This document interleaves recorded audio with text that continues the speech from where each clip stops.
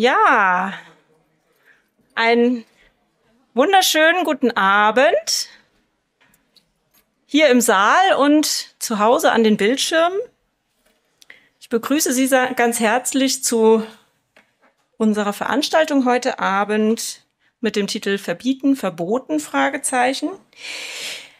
Von einem klugen Menschen habe ich mal den Satz gehört, mach etwas einmal, dann ist es eine Revolution, mach etwas zweimal, dann ist es eine Tradition. Insofern heiße ich Sie herzlich willkommen zu unserem nunmehr traditionellen Format Gegenlicht, das nämlich heute genau zum zweiten Mal stattfindet. Mein Name ist Hannalena Neuser, ich bin Direktorin der Evangelischen Akademie und darf Sie hier heute begrüßen. Gegenlicht.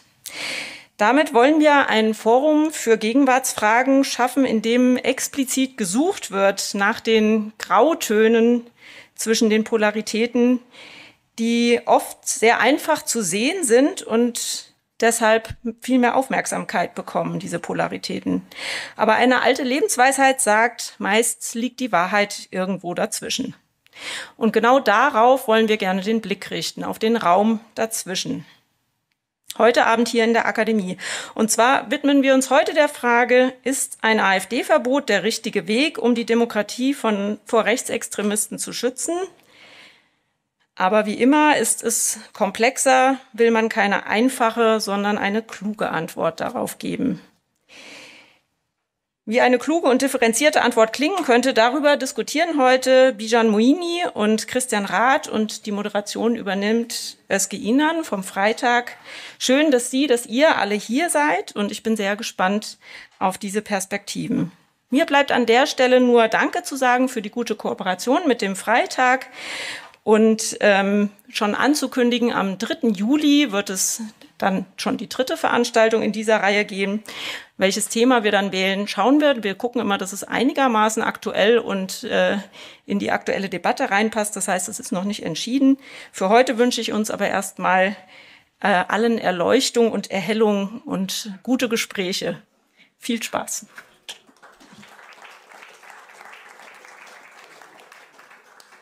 Vielen herzlichen Dank und äh, ich begrüße Sie auch nochmal recht herzlich im Namen des Freitag, der Wochenzeitung aus Berlin. Mein Name ist, wie gesagt, Özge Inan. Ich ähm, darf meine Gäste sehr herzlich begrüßen. Einer sitzt live äh, in Farbe neben mir, einer wird hoffentlich hier gleich ranprojiziert. Ähm, ich beginne mit Christian Rath. Christian Rath ähm, ist freier Rechtsjournalist, unter anderem fürs Redaktionsnetzwerk Deutschland, für die Taz, für Legal Tribune Online und andere. Ähm, der promovierte Verfassungsjurist, schreibt vor allem über die Arbeit der obersten ähm, Bundesgerichte und der, und der ähm, europäischen Gerichte. Von 2012 bis 2021 war er stellvertretender Landesverfassungsrichter in Baden-Württemberg und passend zu unserem Abend hat er ein Buch geschrieben über die Macht des Verfassungsgerichts und äh, promoviert über ähm, den Einfluss des Bundestages auf EU-Ebene. Herzlich willkommen, Christian Rath.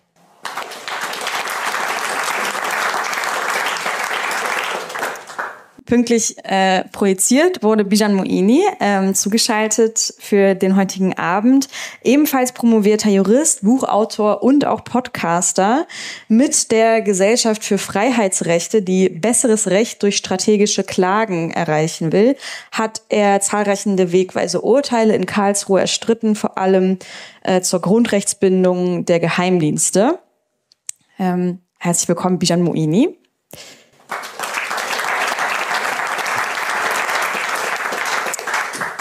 Und ich bin Özge Inan, ich werde Sie durch den Abend führen. Ich äh, arbeite für den Freitag. Ich bin äh, selbst auch Juristin, allerdings nicht promoviert ähm, und auch nicht mit zwei Staatsexamen, sondern nur mit einem. Das nebenbei. Ähm, wenn, also wir haben uns mit meinen Gästen darauf geeinigt, dass wir uns duzen. Ähm, äh, ich denke, das ist auch angemessen. Wir sind ja hier im kleinen Rahmen. Apropos Rahmen, ähm, wir werden jetzt 90 Minuten hier ähm, die Panel-Diskussion haben und danach haben Sie die Gelegenheit, Fragen zu stellen. Ähm, das Ganze wird äh, live auf YouTube übertragen, allerdings sind Sie natürlich nicht zu sehen, sondern es sind weiterhin nur ähm, meine Gäste und ich sind zu sehen. Sie sind nicht zu sehen, Sie sind ähm, auch wahrscheinlich nicht so gut zu hören, nehme ich mal an. Auf jeden Fall ähm, ist eigentlich geht es um die Antwort auf Ihre Frage dann. Das heißt, äh, bloß keine Hemmung nachher ähm, an der Publikumsdiskussion teilzunehmen. Wir freuen uns auf jeden Fall sehr auf Ihre Fragen. Äh, Christian Lüjon, also, wenn wir uns jetzt äh, Deutschland angucken, den Zustand Deutschlands angucken, den Zustand Europas angucken, ähm, das, das äh, Erstarken rechtspopulistischer bis rechtsextremer Kräfte angucken. Ähm, ich weiß nicht, wie es euch geht. Ich habe dann manchmal so das, den Impuls irgendwie zu sagen, man muss doch jetzt mal irgendwas mit dem mit den Mitteln des Rechts muss man doch jetzt irgendwas machen. Man muss doch jetzt mal irgendwie was hier ändern, damit äh, damit es hier, damit dem hier mal einmal halt geboten wird. Ich weiß natürlich, dass es nicht so einfach ist. Aber wenn ihr jetzt äh, einen Zauberstab wählen und eine Norm verändern könntet, äh, eine geschriebene Norm, um äh, die Demokratie zu schützen, was wäre das, Christian? Wir können ja mit dir anfangen und danach Bijan. Ähm, naja, um die Demokratie zu schützen, ist natürlich jetzt irgendwie ein sehr großer äh, Anwurf. Äh, ich habe mich jetzt ähm, bei der Frage, die, ähm, die mich nicht völlig unvorbereitet trifft, aber nicht so in dieser Zuspitzung. Also deswegen muss ich jetzt gerade noch mal ein bisschen drüber nachdenken. Aber ähm, es gibt ja der Titel dieser Veranstaltung Verbieten, Verbieten. Und äh, also so ist praktisch auf der Metaebene, dass äh, wie du sagst, also es wäre toll, wenn man alles verbieten könnte, was äh, blöd ist, ne, was gefährlich ist, was faschistisch ist, was unsere Demokratie, die Rechtsstaatlichkeit bedroht. Alles verbieten wäre erstmal super, dann wäre das weg und dann das Problem wäre gelöst. Ne? Also so, dass es nicht so einfach ist, äh, wissen Sie auch. Deswegen sind Sie da und interessieren sich für diese Diskussion. Und ähm, als ich jetzt hörte, ich soll irgendwas also so streichen aus, der, aus den Rechtsnormen, da ist mir jedenfalls der Artikel 18 Grundgesetz eingefallen. Der ist äh, jahrzehntelang hat ihn keiner gekannt, aber Anfang des Jahres hat er plötzlich so eine, ähm, ja, einen richtigen Hype bekommen. Da gab es so eine Petition, die Grundrechte von ähm, Bernd Höcke, ne, Björn Höcke, ne, Bernd das Brot, Björn Höcke. Ähm, Björn Höcke zu entziehen. Das war ein Physiker, ähm, der die Petition eingereicht hat und der hat offensichtlich ausgeführt gehabt, man muss was tun, ja. Und als dann diese äh, Enthüllungen kamen über das Remigrationstreffen bei Potsdam, dann ist es durch die Decke gegangen. Also binnen weniger Tage hatte die Petition plötzlich eine Million Unterschriften. Inzwischen sind es 1,7 äh, Millionen und äh, das ist ja gigantisch einerseits und irgendwie versteht man natürlich auch, dass es äh, diesen Impuls gibt, ja, diesen gefährlichen Menschen da die Grundrechte zu entziehen. Aber äh, das ist eine Norm, die ich einfach aus dem Grundgesetz streichen würde. Ja? Also wir sind Demokraten, wir entziehen nicht Leuten die Grundrechte. Das ist doch genau das Denken, das wir bekämpfen wollen. Ja? Also so, äh, das kommt aus einem aus einer Zeit, das ist ja kurz nach dem Faschismus äh, ist das Grundgesetz entstanden. Ne? Und da war man natürlich auch noch irgendwie einerseits hoch erschrocken von der äh, gigantischen Kraft des Bösen, dem er dann was entgegensetzen wollte, aber war eben auch noch nicht so gefestigt äh, in einer äh, demokratischen Grundordnung, wie man es heute ist. Also man muss sich nur vorstellen, als das Grundgesetz geschaffen wurde, gab es noch kein Verfassungsgericht. Ja, das ist ja eine Erfindung des Grundgesetzes gewesen und dass man Rechte schützen kann mit Hilfe des Bundesverfassungsgerichts und Verhältnismäßigkeitsprinzip, das war damals alles noch nicht so vor Augen. Und deswegen hat man sowas äh, wie hier Grundrechte verwirken ins Grundgesetz reingeschrieben. Das hat zu Recht äh, nie eine Anwirkung gefunden und wir sollten jetzt nicht plötzlich anfangen, so eine also hochproblematische Norm irgendwie zur Lösung von Problem zu verwenden. Deswegen würde ich die einfach streichen. Ja, hat mich überzeugt. Ich weiß nicht, wie es Ihnen geht. Ähm, Bijan, wie sieht's mit dir aus? Also ich kann allem, was Christian gerade gesagt hat, nur zustimmen, aber ich möchte natürlich anders auf die Frage antworten. Vielleicht können wir über Artikel 18 später auch noch mal kurz sprechen, weil das, ähm, weil es glaube ich noch ein paar andere Gründe gibt, die gegen seine Anwendung sprechen. Und gerade weil er so beliebt ist, lohnt es sich vielleicht darüber noch mal zwei Minuten zu reden. Aber ich habe die Frage ein bisschen anders verstanden. Also was, äh, welches Verhalten quasi würde ich verbieten? Mein erster Impuls war ähm, soziale Medien verbieten. Äh, geht natürlich viel zu weit und ist auch, ähm, ist, ist, sie haben auch sehr, sehr viel Gutes und das ist so ein bisschen äh, übertrieben. Dann habe ich als zweites gedacht, ja, wie wäre es denn, wenn, wenn PolitikerInnen dort nichts mehr posten dürften? Wäre das nicht vielleicht schon ein Gewinn? Auch da denke ich, wäre der Schaden wahrscheinlich zu groß, ähm, weil ja gerade auch viel Wert darin liegt in diesem unmittelbaren Austausch und das ist eben die moderne.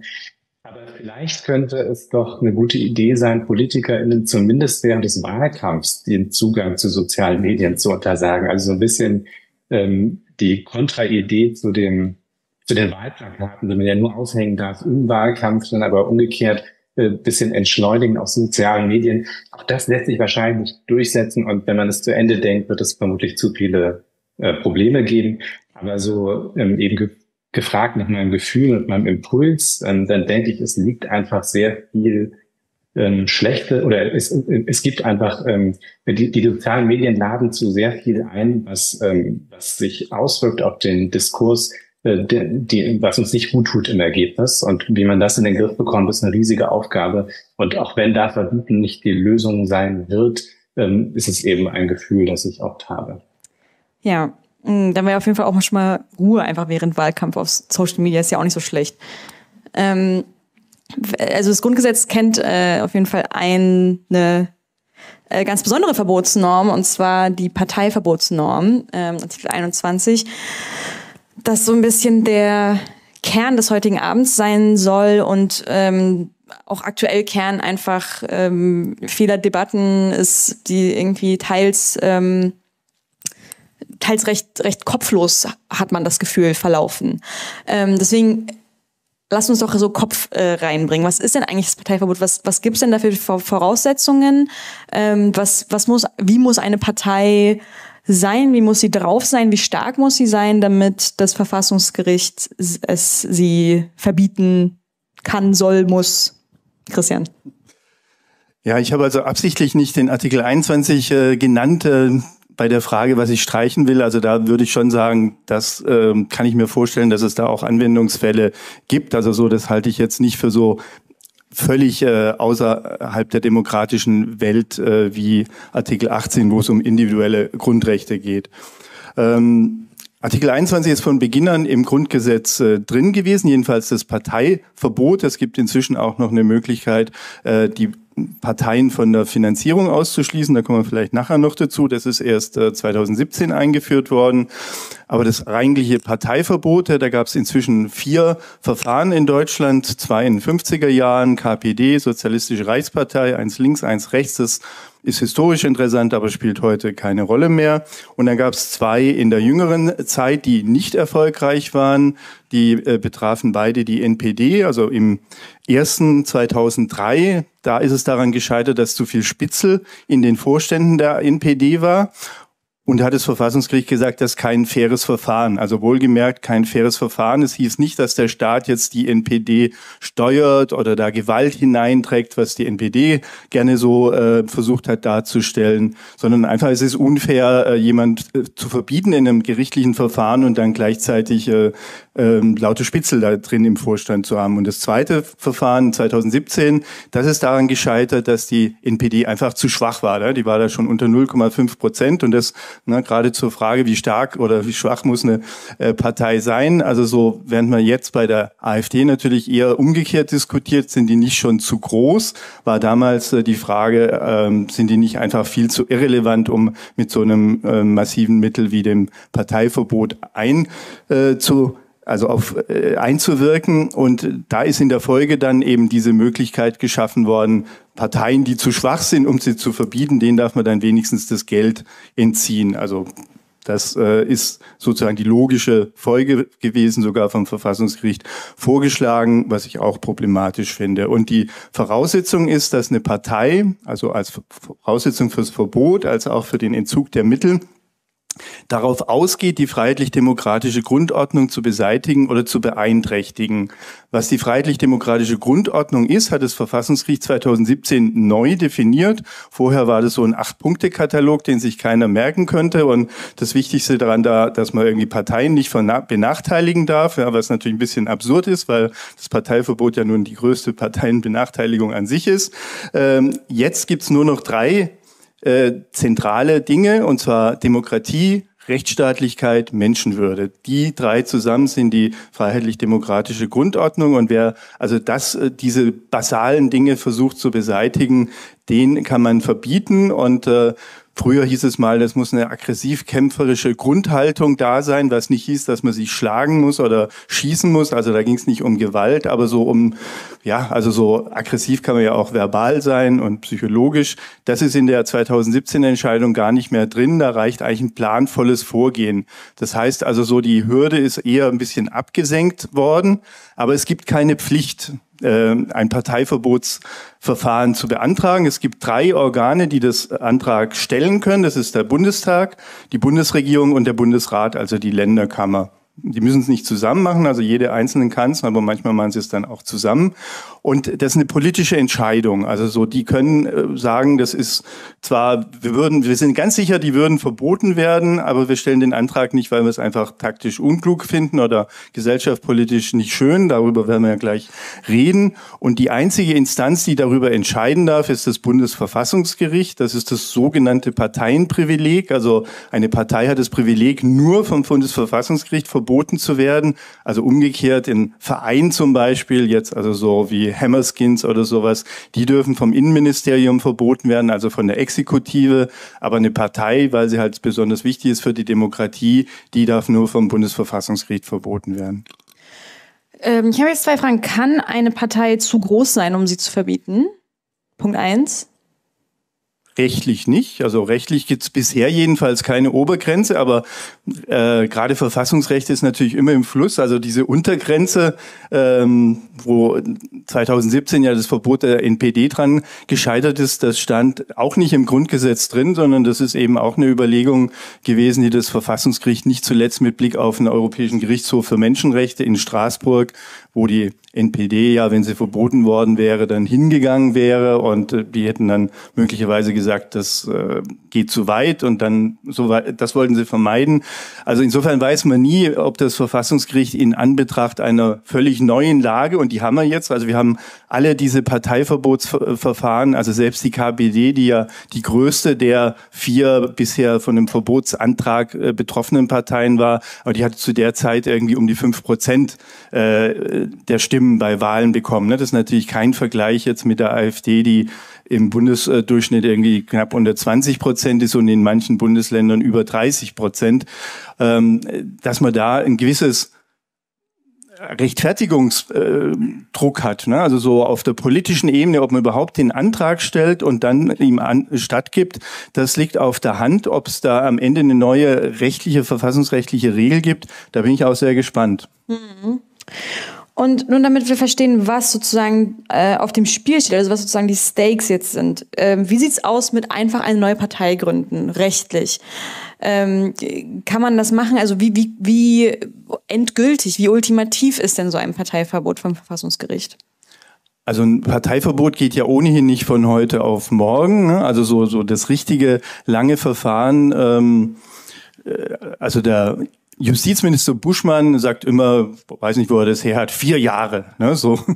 Äh, aber so die Größenordnung ist äh, sicher nicht verkehrt. Also meine Tendenz ist äh, zu sagen, es wird umso länger dauern, je früher man es stellt. Also so wenn ich jetzt äh, eine Situation habe, wo es eben nicht so eindeutig ist, ja, wo die Partei sagt, wir sind ja äh, verfassungskonform, ihr versucht uns da was unterzumogeln und der Verfassungsschutz dann Zitate von Einzelpersonen puzzelartig zusammenstellt, dann ist es halt eine, A, eine aufwendige Arbeit, äh, das muss dann ja alles äh, belegt werden und guckt werden, dass das keine Spitzel sind und, ähm, und äh, die Landesämter müssen abgefragt werden. Also das dauert schon mal lange, bis das zusammen ist, dann dauert es lange, bis die AfD darauf geantwortet hat. Dann dauert es lange, bis das Verfassungsgericht das alles geprüft hat. Also so kommt man dann schon auf diese vier Jahre. Und das ist zum Beispiel ja wichtig zu sagen, will ich jetzt irgendwie auf die Wahlen im Herbst Einfluss nehmen? Ne? Also so, das wird man mit einem Parteiverbot jedenfalls zum jetzigen Stand, Zeitpunkt nicht machen, weil man ja auch nicht sagen kann, man muss mit einer einstweiligen Anordnung äh, ganz Schlimmes verhindern. Ja, also so ist die AfD ja im Moment äh, nicht. Ja? Und dann jetzt auf die Frage, äh, den Kern der Frage zu, zurückzukommen. Also wenn sie dann tatsächlich verboten wäre, ähm, dann kann man natürlich nicht irgendwie eine AfD 2 äh, gründen, ja, so, aber äh, irgendwas in die Richtung äh, nationalkonservativ, rechtspopulistisch wird man nicht verbieten können. Ne? Man kann ja nicht in einem Europa leben, wo in jedem äh, zweiten äh, Staat, also die schon an der Regierung beteiligt sind und zu sagen, nee, bei uns wird alles verboten. Ja, also so ist ja auch jetzt irgendwie nicht gerade ein Ausdruck von äh, besonders äh, hoher demokratischer Gesinnung und also Beispiel Türkei, ne, du kennst ja selber, also so, da sind ja auch die islamistischen äh, Parteien mehrfach verboten worden und haben sich dann immer wieder etwas leicht gemildert, neu gegründet, bis dann halt die jetzige Partei von Erdogan dann sozusagen durchkam und dann irgendwann äh, das gemacht hat, was sie jetzt so tut. Korrekt, weggeputscht auch sogar zum Teil, ja, in Mitte der 90er. Auch ganz andere Größenordnungen noch. Aber ja, aber die Islamisten sind, glaube ich, die sind verboten worden. Ne? Weggeputscht, das waren dann eher noch demokratische äh, Egal. Ja, okay. Du kennst dich besser. Sprich für später. Ja, ja, ja. Ähm, Bijan, äh, ich wollte zu dir kommen und sozusagen äh, von dir ähm, die, die, äh, dir die Aufgabe übertragen, was das, was wir jetzt gerade gehört und gelernt haben, auf die AfD zu übertragen. Soll man äh, ein AfD-Verbot prüfen? Ähm, sollen, sollen die Parteien das anstreben? Was ist, wenn das scheitert? Hat man denen dann damit unfreiwillig irgendwie so das Zertifikat der lupenreinen Demokraten verpasst? Äh, Ronen Steinke, der äh, Kollege von der Süddeutschen Zeitung, hat äh, neulich gesagt, naja, wenn das jetzt scheitern sollte äh, mit dem Verbotsverfahren, dann äh, macht man es halt in, in, zwei Jahren nochmal. Ähm, geht das so einfach? Also um die letzte Frage äh, zu beantworten, nee, so einfach geht das nicht. Ich erkläre das auch gleich nochmal. Ähm, ich würde vielleicht noch auf zwei, drei oder zwei, drei Dinge ergänzen zu dem, was äh, ihr gerade besprochen habt, ähm, um auch nochmal deutlicher zu machen, worüber wir sprechen. Also Christian hat ja die Voraussetzung für ein AfD-Verbot dargelegt und ich würde vielleicht auf den Kern der Schwierigkeit zu äh, kurz mal eingehen. Das hat Christian auch schon angerissen, aber äh, wo liegt eigentlich das Kernproblem bei der AfD im Konkreten oder generell bei Parteiverboten? Ähm, wir haben die Voraussetzungen gehört, also wann eine Partei quasi, äh, welche, welche Ziele sie verfolgen muss. Im Grundgesetz steht, ähm, ähm, die Verfassungswidrigkeit bemisst sich nach den Zielen der Partei und dem Verhalten ihrer Anhänger. Und genau da liegt quasi der Kern des Problems. Welches Verhalten von wem, welche Äußerungen von wem werden der Partei im Ganzen zugerechnet?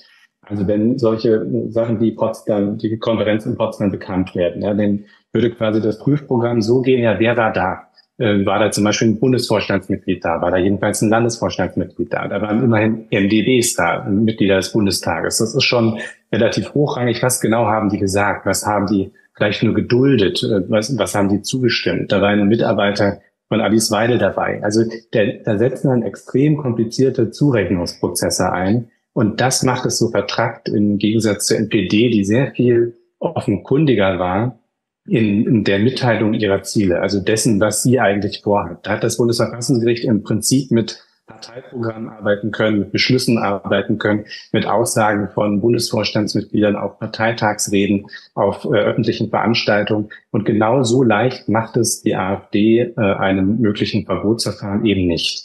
Und das ist auch ähm, quasi ein Teil der, der, der Antwort auf deine erste Frage im AfD-Verbot. Also ich bin keiner, der sagt, wir müssen jetzt sofort einen Antrag stellen, auf keinen Fall. Aber AfD-Verbot prüfen, ja, unbedingt. Also ich, ich glaube, was ist denn der Unterschied? Ich glaube, glaube ich, offenkundig. Ja, was? Was ist denn der Unterschied, wenn man jetzt sagt, genau, wenn man jetzt sagt, äh, Antrag nein, prüfen ja, wer prüft dann in dem Szenario?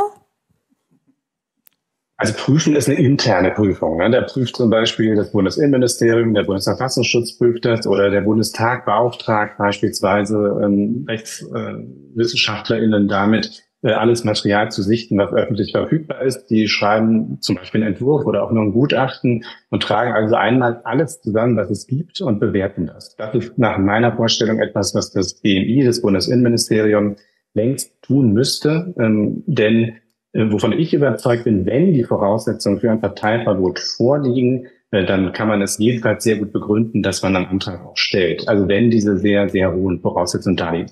Aber im Moment weiß das eben niemand so genau. Jedenfalls ist das mein Eindruck. Und äh, euer Kollege Wolfgang Janisch, auch von der Süddeutschen, hat ähm, auch ermittelt, dass wohl im BI auch tatsächlich niemand daran arbeitet, so ein Verbot äh, tatsächlich mal zu prüfen.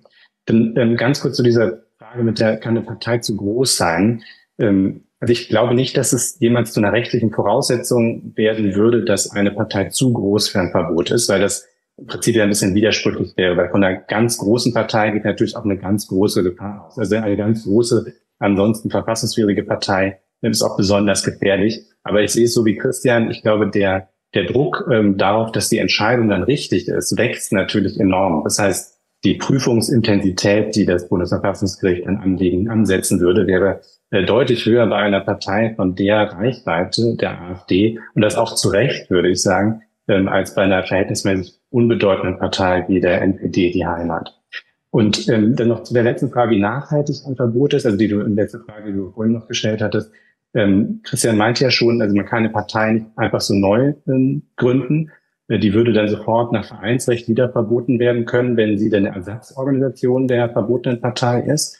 Ähm, aber was man tun könnte, theoretisch wäre, dass man eine ähm, schon bestehende Partei wiederum infiltriert. Und mit der Werteunion beispielsweise, äh, die ja von Hans-Georg Maaßen gegründet wurde, bietet sich da auch vielleicht so ein äh, Vessel, also so, so ein Gefäß ähm, an. Und eine solche Partei, die schon vor dem Verbot bestand, müsste tatsächlich äh, durch ein komplett neues Parteiverbotsverfahren laufen.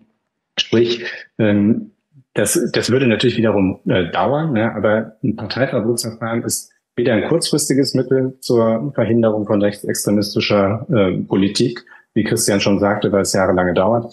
Und es wäre auch kein, kein langfristiges Mittel, weil ähm, eben nach sieben, acht oder zehn Jahren dann die Werteunion oder wer auch immer eine andere neue Partei wieder da sein könnte, wo die AfD ist. Aber es ist eben ein sehr effektives Mittel, mittelfristig die Partei also rechtsextreme Einstellungen in Form dieser Partei von der Regierung fernzuhalten.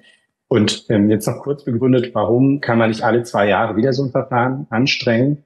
Ähm, deshalb, weil wenn einmal das Gericht äh, in der Sache entschieden hat, also das Verfahren ist zweistufig. Es gibt erst so ein sogenanntes Vorverfahren, das ist ähm, so ähnlich wie beim Strafprozess. Da reicht die Staatsanwaltschaft eine Anklageschrift ein und dann prüft äh, das Gericht, ob äh, die Anklage genügend hergibt, um eine mündliche Verhandlung anzusetzen. Und genau dasselbe gibt es auch beim Parteiverbotsverfahren. Äh, und da in diesem Stadium scheiterte damals das erste NPD-Verbotsverfahren aus den Gründen, die Christian schon genannt hat. Also so viele Spitze in der NPD-Spitze. Ähm, wenn aber einmal mündlich verhandelt ist und also das Ganze, also alle tief einsteigen und in der Sache darüber diskutiert wird und eine Sachentscheidung getroffen wird, dann kann das Gericht laut dem Bundesverfassungsgerichtsgesetz einen erneuten Antrag nur prüfen, wenn der sich auf äh, wesentlich neue Tatsachen stützt. Das heißt, man kann nicht dann sagen, okay, wir haben jetzt zwei Beweismittel mehr und jetzt probieren wir es halt nochmal und dann zwei Jahre später wieder, ähm, sondern es müsste dann einfach so viel vorliegen, äh, dass es ähm, also so, so ein Gewicht hat, dass jeder sagt, okay, das ist, hat jetzt einfach eine völlig andere Qualität. Und dazu kommt ja noch das politische Problem, wie man, wenn man einmal sich durchgerungen hat zu einem Parteiverbotsverfahren, das dann gescheitert ist, dann noch mehr, mal politisches Kapital mobilisieren möchte, um nach zwei Jahren genau dasselbe nochmal zu probieren, das sehe ich einfach nicht. Äh, und das dritte Problem ist, bis dahin könnte die Partei ja auch längst an der Macht sein. Also ähm, konkret die drei Antrag, Antragsberechtigten Bundestag, Bundesrat sind es mittelbar äh, über Koalitionsvereinbarungen, ich weiß nicht was, Tolerierungsvereinbarungen ähm, so äh, infiltriert haben, dass ein Antrag gar nicht mehr möglich ist. Also könnte nach hinten heraus auch einfach irgendwann einen zeitlichen, äh, einen zeitlichen Stopp geben, überhaupt für die Möglichkeit, so einen Antrag zu stellen. Das ein bisschen lang, aber wie gesagt, ich muss nur mal kurz was aufholen. Voll. Äh, absolut natürlich erlaubt. Wir sind ja schon mittendrin in den äh, Szenarien, deswegen würde ich da auch ganz gerne drin bleiben und auf die ähm, auf die bisschen größere philosophische Frage, was ist überhaupt ähm, wehrhafte Demokratie, wie, wie war das damals gemeint, wie ist es jetzt und so.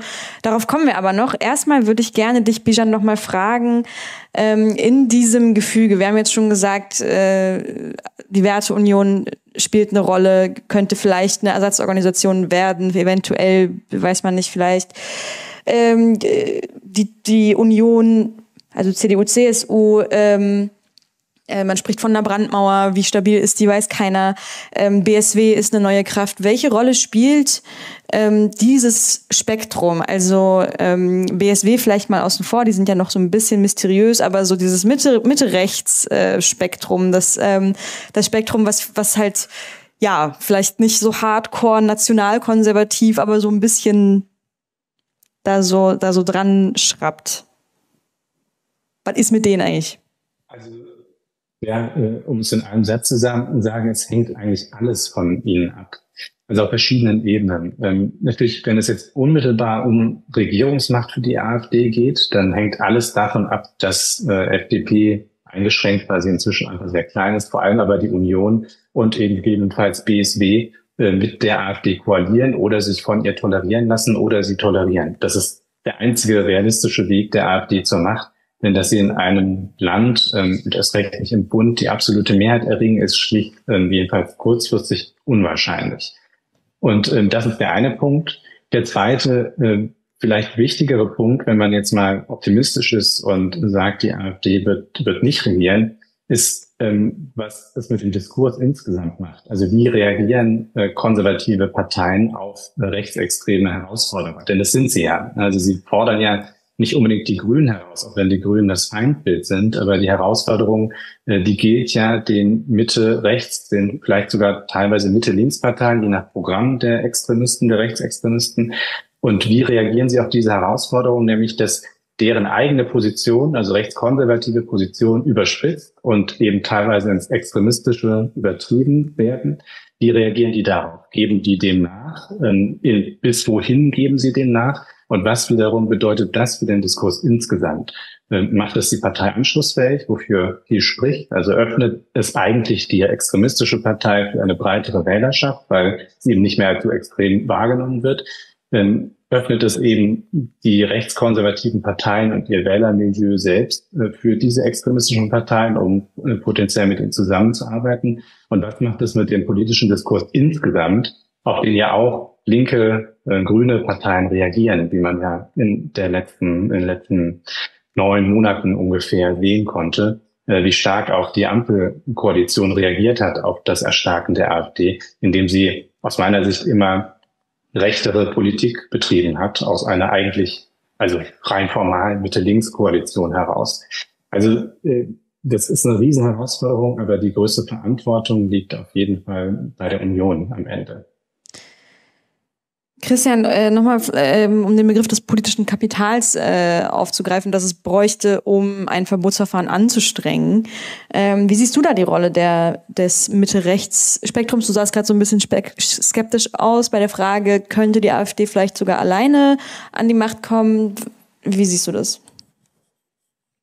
Ich habe deswegen äh, skeptisch geguckt, weil es ja tatsächlich Szenarien gibt, äh, gerade in Sachsen, äh, wenn ähm, da jetzt viele der sogenannten etablierten äh, Parteien äh, an der 5-Prozent-Hürde sind. Also wenn da ähm, SPD, Grüne, FDP, äh, vielleicht sogar die Linke unter 5 Prozent äh, wäre und dann noch die üblichen äh, Tierschutz und äh, freie Wähler, ne, dann hätten plötzlich 25 Prozent der Stimmen, die nicht äh, vertreten sind. Ja, und dann kann eine Partei, die äh, vielleicht 35 Prozent der Wählerstimmen erreicht. Also so ist dann schnell in einem Bereich, äh, wo sie dann äh, sogar eine absolute Mehrheit im Parlament hat. Ne? Also das sind Szenarien, die im Moment, ich will nicht sagen sehr wahrscheinlich sind, ne? aber zumindest auch nicht ausgeschlossen werden können. Deswegen habe ich da ein bisschen skeptisch geguckt. Ähm, aber natürlich ist, was Bijan sagt, viel wahrscheinlicher, dass es in irgendeiner Form um eine Koalitions-, Duldungs- oder Tolerierungsmodelle äh, geht. Und äh, da sehe ich im Moment, äh, glaube ich, auch, ja, bei, bei der CDU in östlichen Bundesländern, da weiß man natürlich tatsächlich manchmal nicht so. Und äh, da gibt es ja auch manchmal so eine Haltung, also wir lassen uns vom Westen gar nichts sagen. Ne? Also am deutlichsten sichtbar ist es ja bei dem FDP-Politiker Kemmer, äh, der in, äh, in Thüringen ja wieder antritt, also nachdem er... Kemmerich. Ne? Thomas Kemmerich? Ja, ne, ich, ähm, mhm äh, natürlich westliche Ignoranz, den Namen eines so wichtigen FDP-Politikers nicht richtig aussprechen zu können. Ähm, Genau, also so und äh, der der ist ja richtig innerhalb der FDP auch verfemt, ne? Der kriegt kein Geld für seinen Wahlkampf, aber ist eben von der FDP aufgestellt worden. Das ist Ausdruck unserer demokratischen äh, Ordnung, ne? dass also die Parteien von unten nach oben gebaut werden und dass eben nicht die Zentrale äh, sagen kann, also so dieser Landesverband passt uns nicht, da schicken wir jetzt irgendwie ähm, den sehr erfolgreichen Verkehrsminister Wissing hin, ja, oder so. Ja, das wusste ich, das ist ein guter Karlauer. Ähm, und äh, deswegen, ähm, also so sowas kann man sich bei der CDU ja durchaus auch vorstellen. Ne? Da gab es ja auch in ähm, in Thüringen. Ne? Also die die CDU hat da ja auch äh, mitgemacht, äh, den Kemmerich äh, zu wählen und äh, be bekam dann einen Anschiss von Merkel und die haben gesagt, was fällt dir ein? Ja? Also so, wir wissen am besten, was gut für Thüringen ist. Ne? Und also so dieses ähm, ja aufsässige Renitente, was wo man ja auch, ne, wenn es jetzt nicht darum ginge, äh, immer auch so eine leichte Sympathie hat, ne, sich nicht irgendwie äh, hin und her zu dirigieren zu lassen, sagen, wir machen unsere Sachen selber. Also so, das ist da schon relativ stark äh, vertreten. Deswegen würde ich im Moment sagen, also ist alles, äh, ist sehr vieles möglich. Ne? Also so die spannende Entwicklung, die wir jetzt haben seit zwei Wochen, ist ja äh, die, diese ganze Russland-China-Sache. Ne? Und also so vielleicht noch mehr China als Russland, weil Russland im Ostdeutschland ja auch also durchaus gewisse äh, Grundsympathien hat, also auch bei der Linken. Aber China, das geht jetzt vielleicht doch ein bisschen äh, zu weit. Also so und äh, also da jetzt eine AfD als äh, die patriotische Partei, die Part Partei für Deutschland. Das andere sind die Vaterlandsverräter, die Volksverräter. Und jetzt paktieren die da mit irgendwelchen Diktaturen und lassen sich noch dafür bezahlen. Also das ist das, wo möglicherweise ein Gamechanger sein kann. Ne? Also so, um mal was Positives zu sagen. Ne? Also so, dass auch manchmal gibt es ja Dinge, die gar nicht politisch jetzt äh, Leistungen der herrschenden äh, politischen Parteien sind, sondern es kommt einfach was raus, äh, was da eine Dynamik hat, also so von der man ja vorher, die man gar nicht gezielt erzeugen kann. Durchaus. Ähm, um direkt bei dir zu bleiben, äh, es ist so, der Begriff schwebt immer mit im Raum, sobald es um die Frage des Parteiverbots geht, und zwar die wehrhafte Demokratie. Wir haben vorhin schon drüber gesprochen. Du bist nicht so ein Fan des Begriffs.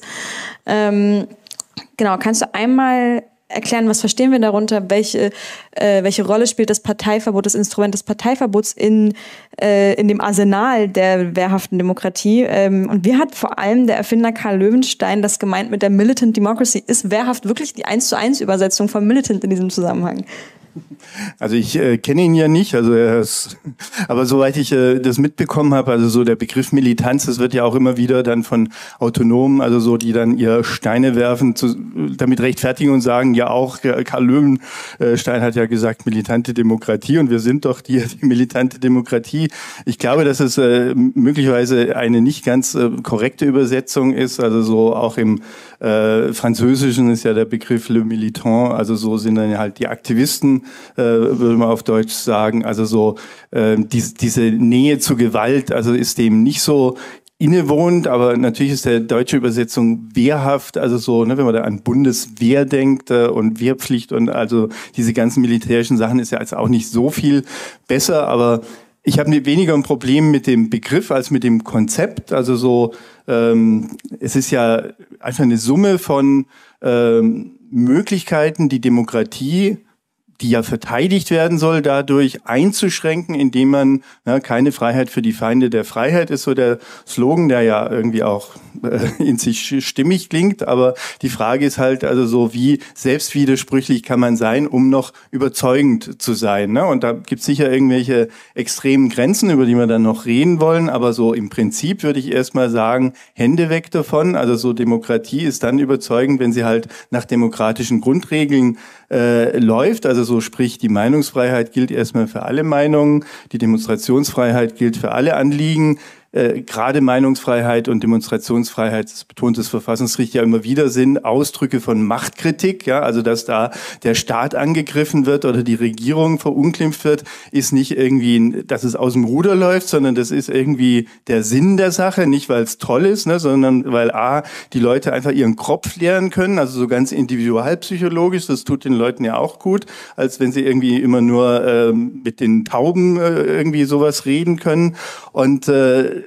und dann halt, also so, möglicherweise haben sie ja auch mal äh, recht. Also so, möglicherweise gibt es ja auch Dinge, die, äh, die einfach nie, niemand richtig traut, sich anzusprechen, weil es irgendwie im internationalen Kontext nicht passt oder, äh, oder die Rechte würde dann sagen, ja, weil wir irgendwie historisch irgendwie bestimmte Knackse haben und deswegen jetzt irgendwie andere Sachen nicht machen können.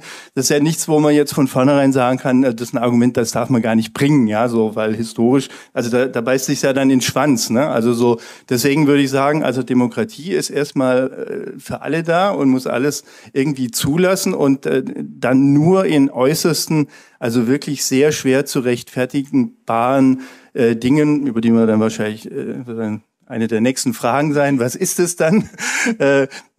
wo es dann wirklich nicht anders geht, da dann einzuschreiten. Das ist wehrhafte Demokratie und das jetzt nur mal im Grundgesetz steht, also so Artikel 18, finde ich, kann man noch streichen, ohne dass das äh, Konzept an sich aufgegeben wird. Aber ansonsten würde ich einfach sagen, eng auslegen. Bijan, ja, bitte. Ja, genau. Ähm, ich wollte es vielleicht noch erweitern, dieses Konzept der wehrhaften oder sozusagen auch streitbaren Demokratie, um, ähm, also Christian hat es jetzt auf die repressiven Mittel, also dass die Mittel, die, die es quasi zur Unterdrückung von extremistischen Meinungen gibt, äh, abgestellt. Aber man kann das auch positiv formulieren und in der Beziehung, glaube ich, ähm, ist unsere Verfassung insbesondere auch einfach äh, erhellend, dass es ja auch darum geht, äh, die Zivilbevölkerung selbst in eine Position zu bringen, wie sie die extremistischen äh, Bestrebungen etwas entgegensetzen kann. Also indem beispielsweise Meinungsfreiheit großgeschrieben wird, indem es ähm, Rechtsschutzmöglichkeiten gibt gegen ähm, extremistische Gesetze, also insbesondere die Verfassungsbeschwerde zum Beispiel, mit der man sich äh, gegen letztinstanzliche Entscheidungen und in gewissen Maßen auch gegen Bundesgesetze, Landesgesetze wenden kann ähm, die Möglichkeit, sich in Vereinen zusammenzuschließen, demonstrieren zu gehen und all das. Also ähm, das äh, streitbar heißt in, in diesem Sinne auch, dass Menschen selbst in der Position sind, überhaupt gegen das anzustreiten und gegen das anzugehen, was ähm, möglicherweise von einer äh, extremistischen Regierung oder auch von einer extremistischen Minderheitsfraktion in einem Parlament ähm, so verlautbart wird. Also wenn ich gerade kurz äh, einhaken darf, finde ich natürlich sehr sympathisch, wie du den Begriff umdeutest, äh, aber äh, da mache ich natürlich sofort mit, ja, also so dann äh, nehmen wir den Begriff den äh, Verbietern äh, weg und sagen, also so eigentlich ist die wehrhafte Demokratie ein Konzept der Freiheit, der Selbstermächtigung, der zivilgesellschaftlichen Selbstorganisation, ne? also so das äh, also äh, die Frage ist also, ob da jetzt im äh, allgemeinen Diskurs, also ob wir das schaffen, ähm, wir beide den Begriff so umzumünzen. Also ich glaube, dass er noch nicht so weit verbreitet ist in der Lesart, wie du es äh, jetzt vertrittst. Ich würde, ich würde es auch nicht exklusiv, sondern kumulativ verstehen. Also ich glaube, es ist tatsächlich beides damit gemeint. Ich, ich denke, und wenn ich zum Beispiel mich für eine Prüfung eines AfD-Verbots ausspreche, dann meine ich das auch nie so, dass man an allen anderen Fronten jetzt die Hände in den Schoß legt. Also weder die politische äh, Opposition, der, also Opposition zur, zu den Rechtsextremisten, noch die Zivilgesellschaft sind damit irgendwie aus der Verantwortung entlassen. Im Gegenteil. Also zu, also streitbar oder wehrhaft ist die Demokratie ja eigentlich sowieso immer nur dann, wenn, wenn und solange die politische Elite und auch ein, wahrscheinlich die Mehrheit im Volk ist vermutlich notwendig dafür, daran glaubt. Also ohne das, ohne diese Voraussetzungen können wir sie sowieso vergessen. Und dafür ist eine Voraussetzung dann wiederum, dass sie sich artikulieren, organisieren können und so weiter und so fort. Ja, das wäre eigentlich ein schönes Schlusswort gewesen, aber wir sind noch lange nicht am Ende. Ähm, äh, Woran liegt denn dieses Missverständnis, dass man bei, äh, bei der wehrhaften Demokratie an, äh, an so einen repressiven, verbietenden äh, Staat mit so einem Herrschaftsgestus denkt? Ich, ich würde das, ich würde vielleicht eine Parallele ziehen zum Begriff des Rechtsstaats, der ja auch gerne in die Richtung irgendwie ähm, so, so zumindest sehr eindimensional nur verstanden wird, irgendwie äh, äh, Silvesterkrawalle oder irgendwas geht ab und dann ähm, äh, hört man schon die CDU-Politiker nach der vollen Härte des Rechtsstaats rufen und irgendwie ähm, gefühlt nimmt das auch zu in den letzten Jahren, diese, diese Drehung des Rechtsstaatsbegriffs hin zu, zu etwas, was der Staat seinen Bürgern antut und nicht umgekehrt eben etwas, was den Bürger eigentlich, ähm, äh, was dem Bürger eigentlich Abwehrinstrumente an die Hand gibt gegen den Staat. Haben wir da irgendwie so ein grundlegendes Missverständnis?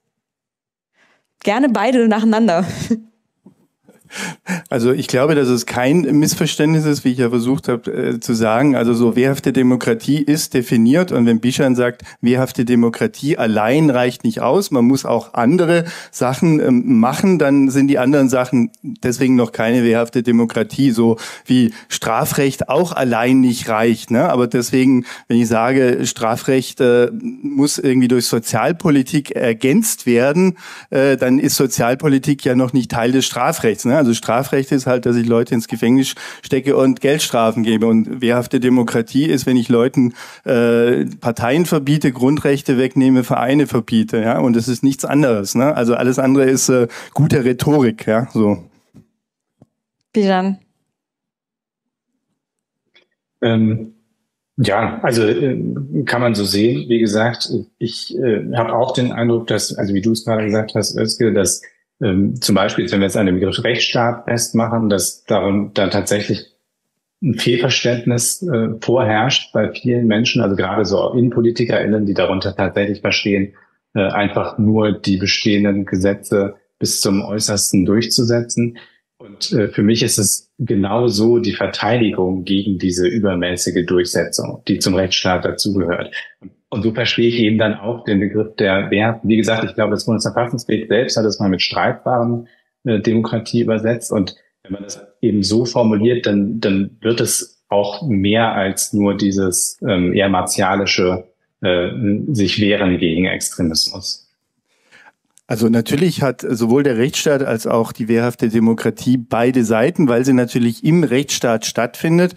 Und die Tatsache, dass nur das Verfassungsgericht jemand verbieten darf, ist ja Ausdruck dieser rechtsstaatlichen Idee, dass man eben jetzt nicht einfach äh, sagt, ja, du bist jetzt Innenminister und äh, entscheidest mal, welche Parteien du für gefährlich findest. Ne? Also dass da ein aufwendiges Verfahren erforderlich ist, äh, dass es äh, eben nur durch das Verfassungsgericht als besonders hoch hoch angesehenes, pluralistisch besetztes Organ gemacht werden kann, ist ein zutiefst rechtsstaatlicher Gedanke, der natürlich Teil dieser wehrhaften Demokratie ist. Aber er ist eben genauso äh, Teil eben dieser Repression wie der rechtsstaatliche Grundgedanke des Strafrechts, dass ich nur was äh, wegen einer Sache bestraft werden darf, die vorher bestraft worden ist, dass die Strafe proportional sein muss, dass am Ende irgendwie der Resozialisierungsgedanke, also Repression und äh, Verhältnismäßigkeit schließen sich ja in unserem Staat nicht aus, sondern sind immer miteinander verbunden. Ne? Also so.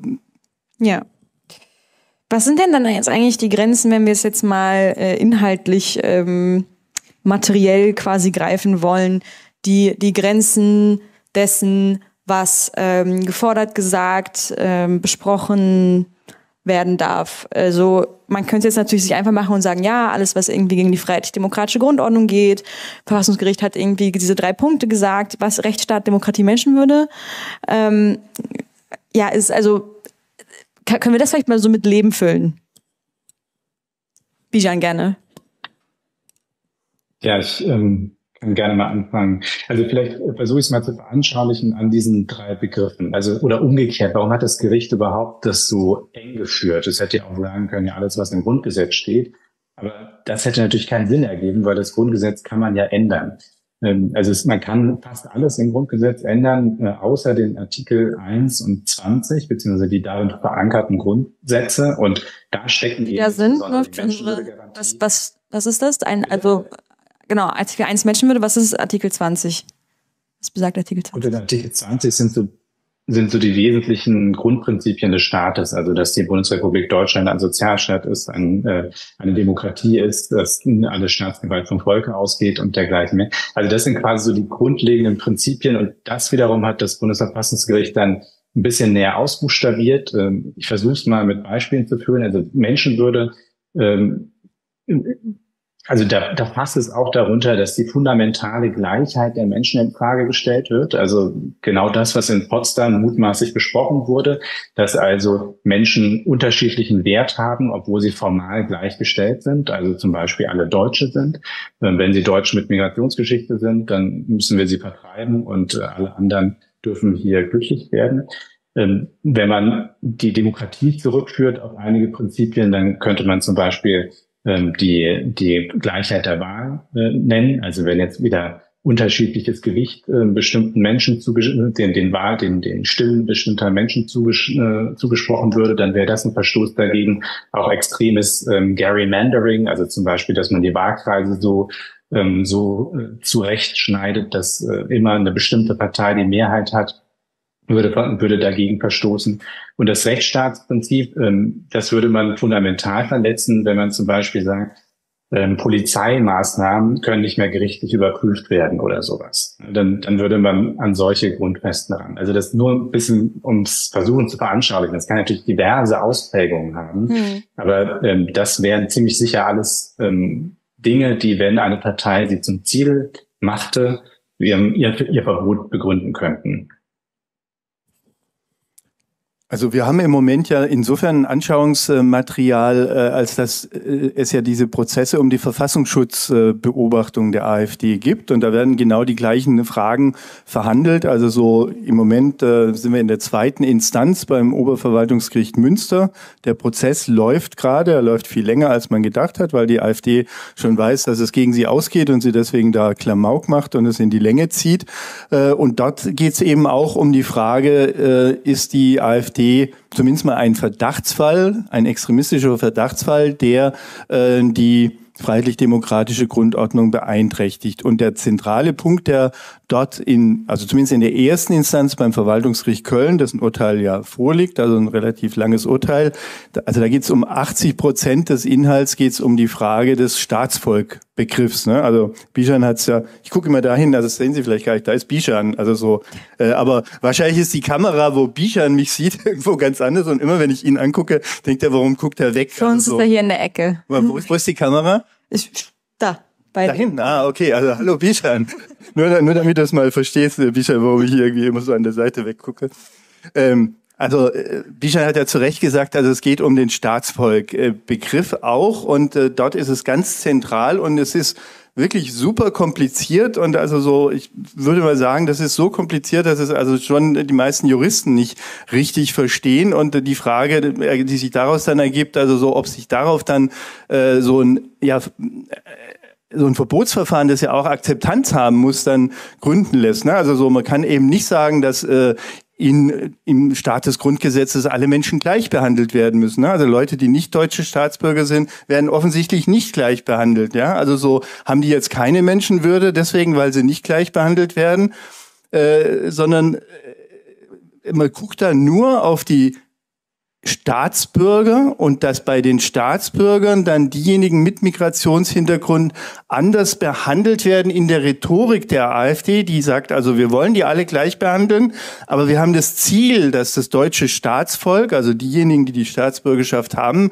möglichst nahe an dem ist, was autochtone Deutsche sind, also die irgendwie deutsche Eltern, Blutsverwandtschaft und so weiter haben. Also so die Eingebürgerten will man irgendwie eng halten und äh, dann kommt die Aussage, wenn sie sich nicht integrieren oder assimilieren, äh, dann will man sie auch loswerden. Wie auch immer das dann passieren soll, das wird dann nicht näher ausgeführt. Äh, da kann man sich natürlich vieles drunter vorstellen, was wirklich äh, jenseits äh, vom Akzeptablen ist, aber erstmal nur zu sagen, äh, ich habe eine den Wunsch, dass das deutsche Staatsvolk möglichst äh, mit dem, was ich mir als Deutschen so vorstelle, identisch bleibt. Also so, dass äh, das zu sagen, dass das verfassungsrechtlich äh, zum Verbot führt, während die Forderung Ausländer raus äh, eine legitime migrationspolitische Meinungsäußerung ist. Also dass das zusammen äh, sozusagen das eine ist, äh, darf man nicht mal irgendwie verbieten und das andere führt dazu, dass du selber verboten wirst. Also würde ich sagen, das versteht kein Mensch. Ja, also so und auf der Ebene führen wir im Moment diese Verbotsdebatte. Ja, und äh, das äh, zeigt ja auch schon, also so wie schwierig das ist. Also so da äh, ähm, genug Material zusammenzubekommen, äh, wo man dann sagen kann, damit äh, bin ich auf der sicheren Seite, das wird das Verfassungsgericht auf jeden Fall akzeptieren. Ich würde sehr gerne noch auf ein, ähm, auf die, nur kurz, deswegen habe ich auch, machen wir es auch jetzt erst, weil ich finde, es muss man immer begrenzen, wie viel man über so das die Propaganda der AfD selbst spricht und wie die AfD sich selbst darstellt und so weiter. Aber ich würde trotzdem noch gerne darauf eingehen zum Schluss, bevor ich zur Abschlussfrage komme. Ähm, die AfD, wir sehen, wir, also die AfD ist nur ein Beispiel, nicht mal unbedingt so das, das cleverste Beispiel im internationalen Vergleich ähm, für genau diese Taktik. Wir sehen das bei Donald Trump zum Beispiel sehr, sehr viel erfolgreicher.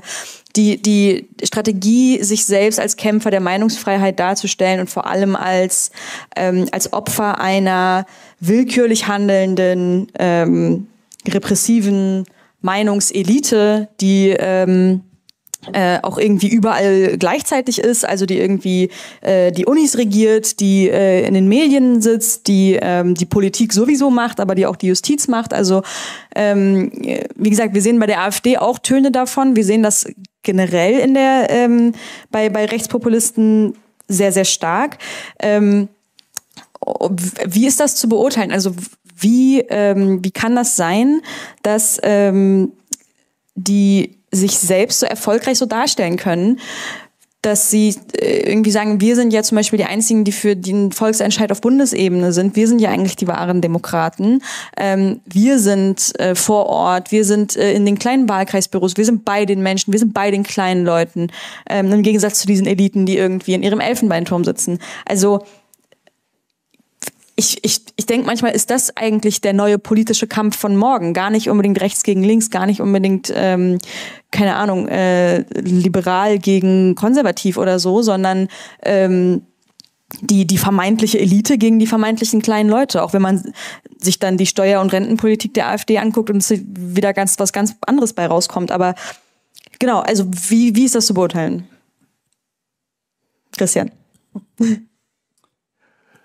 Also die, was weltweit ja beobachtet wird, ist so, so ein Gegensatz zwischen Stadt-Land. Ne? Also dass die urbanen Eliten und nicht, weil sie Eliten im Sinne von äh, die Herrschenden sind, sondern weil sie einfach andere Werte haben, postmaterialistischere Werte haben, dass ihnen Umweltschutz, Klima wichtig ist, äh, Genderfragen, Geschlechtergerechtigkeit, äh, dass sie lieber Tofu grillen als andere Sachen grillen. Ne? Da geht's dann natürlich schnell ins Lebensweltliche. Und äh, wenn dann ähm, diese urbanen Eliten, die natürlich dort sind, wo die Universitäten sind, wo die Medien äh, sitzen, wo die Parlamente sind, äh, die, die haben natürlich einen anderen Zugang zu Öffentlichkeit. Ne? Und das merken natürlich die Leute, äh, die das alles noch nicht so äh, nachvollziehen können und wollen, auch. Und wenn die jemand anspricht und sagt, also so, die interessieren sich einen Scheißdreck für euch, die nehmen euch irgendwie das Grillfleisch weg, also so, die wollen, dass ihr irgendwie nicht mehr Auto fahrt und, äh, äh und, und dass ihr irgendwie, also dass euer Kind irgendwie mit 14 entscheiden kann, dass es irgendwie das Geschlechtsverwandlung äh, nimmt. Na, das äh, sind dann Dinge, die Leute verschrecken oder verärgern oder, ne, also so, äh, und das ist halt so, so ein Stadt-Land-Gegensatz, den es in, äh, auch in Ungarn, in Polen und so weiter gibt Ne? Also so im Prinzip, also überall, also so sowohl in Autokratien als auch in äh, Demokratien und das irgendwie zusammenzubekommen, also so da äh, Diskurse zu führen, die Leute nicht erschrecken, nicht ausgrenzen, ist sicher jetzt der Schritt von unserer Seite, äh, was man als erstes machen muss. Ne? Also wenn man jetzt als Antifa irgendwie in ein Dorf einmarschiert und sagt, wir haben euch was mitgebracht, Hass, Hass, Hass, ne? dann ist äh, die äh, Akzeptanzquote etwas niedriger, als wenn man da, äh, sagen wir mal, Blumen verteilt und Kuchen backt oder, oder ähnliches. Ne? Also irgendwie mit den Menschen auf gleicher Ebene äh, kommuniziert. Ja? Und, äh, und die ganze und da sind wir wieder dann beim Thema, die ganze Verbotsdebatte, die äh, sehe ich halt eher äh, so, ne, da sind Leute, die ja jetzt, äh, sind jetzt nicht wenige, ne, sondern in äh, Sachsen-Thüringen 30 Prozent der Bevölkerung, die sagen, also die AfD vertritt Anliegen, die mir wichtig sind, ja, und wenn man denen sagt, also so, nee, mit euch diskutiere ich gar nicht, ihr seid verloren, ja, so, äh, äh, euch, euch kann man eigentlich nur verbieten, also so, das ist ja auch eine Aussage, ne, also dass äh, da jetzt irgendwie es geht ja gar nicht darum, die Leute sofort zu überzeugen, aber irgendwie sie so ins Gegensatz, ins gegnerische Lager zu treiben, indem man sagt, mit euch rede ich nicht, euch verbiete ich einfach nur. Ne? Also so, da ist ja auch die Wahrscheinlichkeit, dass die irgendwie in fünf oder zehn Jahren äh, sagen, ja, also es war äh, irgendwie gut, äh, dass, äh, dass, also so, dass man mir damals was gesagt hat, so eher gering. Ne? Also so die Berufsopfer, Berufsverbotsopfer von äh, aus den 70er Jahren, die, die sind ja immer noch tief innerlich verletzt. Ne? Also so, und äh, dass man jetzt selber, also wir haben ja jetzt gerade letzte Woche in Brandenburg ist die Regelanfrage für den Verfassungsschutz eingeführt worden. Vor jeder Einstellung äh, im öffentlichen Dienst muss der Verfassungsschutz gefragt werden, ob gegen die Person was vorliegt. Das ist genau das, was man in den 70er Jahren als Berufsverbotspraxis bezeichnet hat. Ne? Also so, dass man jetzt genau die, die, die Leute, die, die das da also immer noch kritisieren, was damals passiert ist, das jetzt aber selber fordern, weil es gegen die Richtigen geht, das ist halt, finde ich, das Problem, das wir damit selber für den demokratischen Diskurs erzeugen. Bijan, ist die Verbotsdebatte Teil des Problems?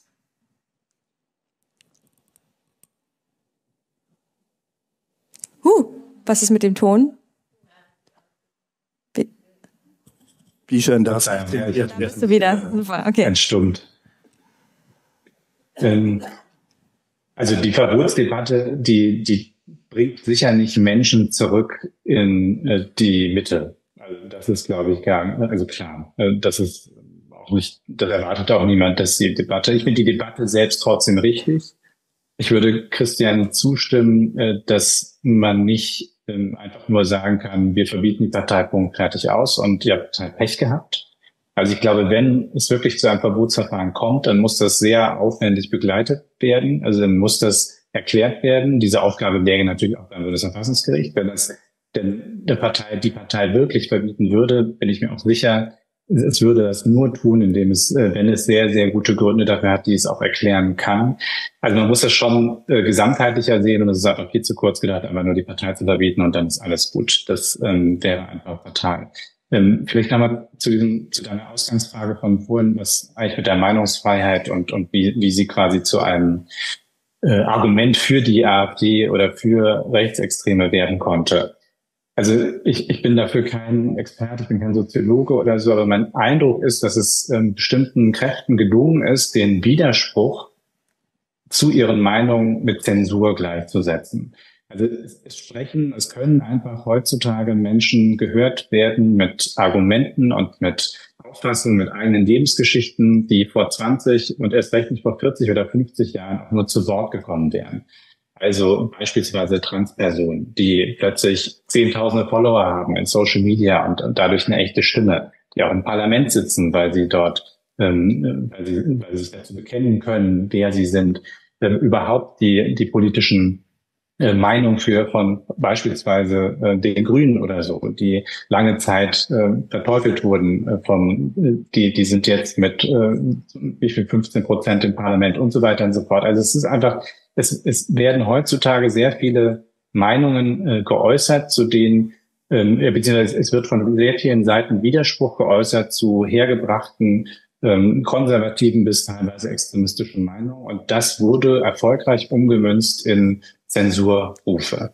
Äh, und faktisch ist ja der Befund, dass die AfD jetzt wirklich, dass niemand mit der AfD rede, ja falsch. Also jetzt die letzten Monate waren ja ein sehr gutes Beispiel dafür, dass in zig große Talkshows immer wieder äh, Spitzenleute der AfD eingeladen wurden, um überwiegend auch über sich selbst zu sprechen, also über ihre eigenen Positionen äh, und die zu erklären und ähm, Leute zu verteidigen, die der Korruption, äh, des, äh, der, der, des ähm, jetzt mal politisch gesprochen, des Landesverrats beschuldigt werden und dergleichen mehr. Also äh, die, die und auch natürlich alle ähm, Auffassungen, was so äh, so gegen Transrechte, gegen Geflüchtete, ähm, gegen gendergerechte Sprache. All diese Meinungen sind natürlich im Diskurs und waren es immer. Es gab nie einen Zeitpunkt, in dem die in einer Form verboten wurden oder so. Sie haben einfach von vielen Seiten mehr Widerspruch bekommen, als es vor 10 oder 20 Jahren der Fall war. Und ähm, äh, das ist einfach sehr mächtig. Ähm, also der, der Ruf nach, ähm, meine Meinung wird verboten, ist sehr mächtig. Ich erlebe es ja im eigenen Umfeld. Und wenn ich meinen ähm, Verwandten erklären möchte, warum das N-Wort nicht mehr verwendet werden sollte, dann muss ich wirklich diskutieren drüber und das erklären. Und die fühlen sich persönlich angegriffen, weil die haben das ihr halbes Leben lang oder ihr halbes, ihr ganzes Leben lang völlig ohne irgendwelche Vorbehalte gesagt und fühlen sich, ähm, wenn ich ihnen sage, das ist falsch und das auch begründe, warum, dann fühlen sie sich erstmal herabgesetzt und äh, denken sich erstmal, ja, was, was redet der mir jetzt hier ein, dass ich irgendwie mein Leben lang äh, ein Schimpfwort verwendet hätte oder so. Ähm, und äh, das ist einfach, deshalb ist es einfach, wenn quasi andere Menschen nicht die Gelegenheit haben, mit einem nahen Verwandten, dem sie auch vertrauen und dem sie zuhören, lange genug zuhören, äh, sich das anzuhören und das zu verstehen, dann äh, wird es eben als Herabsetzung und als Eingriff, Übergriff empfunden, obwohl es eigentlich nur Widerspruch ist, also der Gebrauch der Meinungsfreiheit. Und ja, das ist, ähm, hat Donald Trump verstanden, intuitiv, das haben viele andere auch schon vor ihm verstanden. Und ähm, das ist ja auch bis äh, längst in, die, in, in das konservativ-Mittelspektrum übergegangen, diese Argumentation. Und sie verfängt offenkundig bei sehr, sehr vielen Menschen. Also wird so eine ähm, irgendwie eine Kontinuität äh, ziehen oder dann irgendwie, weil es ist ja schon ein großer Unterschied, ob wir davon sprechen, dass du jetzt irgendwie deiner Tante erklärst, dass sie M-Wort nicht sagen soll, oder ob ähm, eine Million Menschen eine Petition unterschreiben, dass Björn Höcke die Grundrechte entzogen werden sollen. Also äh, wie, kannst du die Parallele nochmal erläutern vielleicht? Dazu sehe ich keine Parallele. Also, nee, also weil du sagst, äh, Donald Trump hat, hat verstanden, die Leute fühlen sich ähm, herabgesetzt durch, ähm, durch solche gefühlte Zensur, aber wir sprechen ja zum Teil wirklich von richtiger Zensur. Also es ist ja auch die Rede gewesen davon, ob, ähm, ob man Trump von den Wahlzetteln nimmt und also durch, durch Gerichtsbeschluss und solche Sachen. Ja, ähm, also die US äh, Rechtslage ist ja auch nochmal kompliziert und mhm. Zensur ist das ja nicht. Also was ist Zensur? Zensur ist eigentlich das staatliche Verbot, bestimmte ähm, Meinungen öffentlich, beziehungsweise also der staatliche Verbot, bestimmte Meinungen zu äußern, aber vor allen Dingen, dass zum Beispiel in, in Presse, ähm, äh, in Pressetexten äh, etwas über die Regierung geschrieben werden darf, äh, etwas nicht über die Regierung geschrieben werden darf oder dergleichen. Das ist Zensur in seinem eigentlichen Kern. Wenn man jetzt natürlich einen Menschen verbietet, von seiner Meinungsfreiheit Gebrauch zu machen, dann kommt es dem sehr nahe, ist sogar noch viel extremer als Zensur. Ich bin aus den von Christian schon genannten Gründen auch ähm, total gegen ein Verfahren nach Artikel 18. Ich finde auch diesen ganzen Artikel unsäglich und völlig unzeitgemäß und kontraproduktiv und er bringt auch nicht, selbst wenn er Erfolg haben würde, ein Verwirkungsverfahren Erfolg haben würde, äh, und äh, ja, ich verstehe, dass das zu einer Gegenreaktion führen kann, aber rational ist es ja nicht. Also, dass man jetzt, weil man Artikel 18 Verfahren blöd findet, äh, jetzt erst recht, also dieses erst recht Argument AfD wählt, das ist ja nicht logisch, weil das eine hat mit dem anderen eigentlich nichts zu tun. Das ist eine Trotzreaktion. Und die, die ist, also das, das mag so sein und ist dann auch, ähm, also damit muss man umgehen und das muss man natürlich einkalkulieren. Aber eigentlich ist es kein, keine rationale Reaktion, sondern man sollte ja eigentlich Björn Höcke oder eine Partei wählen, weil man von ihren Inhalten überzeugt ist, nicht weil irgendjemand eine Petition startet, die darauf ausgerichtet ist, den Landesvorsitzenden, ähm, also dessen Grundrechte zu entziehen. Hm. Möchtest du noch was sagen dazu? Hm. Gerne. Also die Petition, äh, da hast du natürlich völlig recht, die kam ja nicht von staatlicher Seite und es hat auch niemand aufgegriffen. Ähm, aber dass der Verfassungsschutz jetzt in fast allen Bundesländern die AfD ähm, überwacht, äh, als Extremisten darstellt und damit natürlich immer auch versucht, aus dem politischen Diskurs auszugrenzen. Ja, das ist ja auch immer so ein äh, so ein Mittel zu sagen, ja, ladet die nicht ein. Also so, ich meine, hier sitzt ja auch keiner, ne? So, warum? ähm, äh, gebt denen keine Zuschüsse, ähm, wenn wenn jemand also so. Die Stiftung ist ja auch von der Finanzierung ausgeschlossen worden. Ja, also da, da haben wir ja dann jetzt äh, auf mehreren Ebenen getrickst, also so und letztlich also so der, im Moment wird sie ausgeschlossen, weil man einfach die Hürde hochgesetzt hat, dass man drei Jahre im Bundestag, äh, drei Wahlperioden im Bundestag sein muss, äh, aber bei der nächsten Wahlperiode werden sie es wahrscheinlich nicht auf vier Jahre hochsetzen, sondern da kommen dann die Argumente, die dann halt wirklich belegt werden müssen, dass die Stiftung selber auch, ne, nicht nur die Partei, die dahinter steht, die Stiftung selber auch äh, möglicherweise verfassungswidrige Dinge macht. Das muss dann noch äh, belegt werden, aber da entscheidet dann auch nicht das Verfassungsgericht als erste Instanz, sondern die Innenministerin. Also so, da hat man wieder so eine Exekutiv. Entscheidung, aber das sind alles Beispiele, wo durchaus der Staat ähm, konfrontativ, repressiv auf die AfD reagiert und natürlich jetzt nicht, weil wegen der Gendersprache oder wegen dem Fleischkonsum, ne, das sind dann die Sachen, die dann irgendwie so im Umfeld mit äh, schwingen, sondern da kommt dann immer diese Staatsvolkssache, die natürlich auch viele nicht so interessieren. Ja, warum darf die Innenministerin äh, eine äh, Abschiebeoffensive ankündigen und der Kanzler sagen, jetzt muss mal so richtig abgeschoben werden. Äh, und wenn die AfD sagt, wir müssen was tun gegen illegale Migration, äh, dann äh, werden sie an Pranger gestellt. Ne? Das sind ja Dinge, wo die Leute sagen, da wird mit zweierlei Maß gemessen und die einen, die gehören dazu und die anderen gehören nicht dazu. Und die, die nicht dazu gehören, die haben sich dann halt, weil sie das Gefühl hatten, sie werden ausgegrenzt und natürlich auch nicht zu Unrecht, ihre eigenen Medien geschaffen, ihre eigene Medienwelt geschaffen, ihre eigene Parallelwelt geschaffen schaffen. Also es war insofern ja auch wirklich kontraproduktiv. Ne? Also so dieses Ausgrenzen hat dazu geführt, dass hier Parallelwelten in Deutschland entstehen, wo man also nur mit den Ohren schlackert, was da alles an Wirklichkeiten angeblich, äh, angeblichen Wirklichkeiten vertreten wird.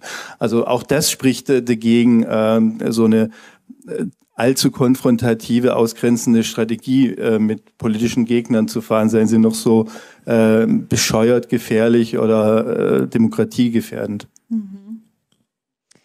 Hast du noch eine Ergänzung? Ja, aber also ich würde vielleicht eine Sache, ja, also wenn, wenn Scholz sagt, wir müssen wieder im großen Stil abschieben, dann finde ich diese Aussage schrecklich, also ich persönlich politisch.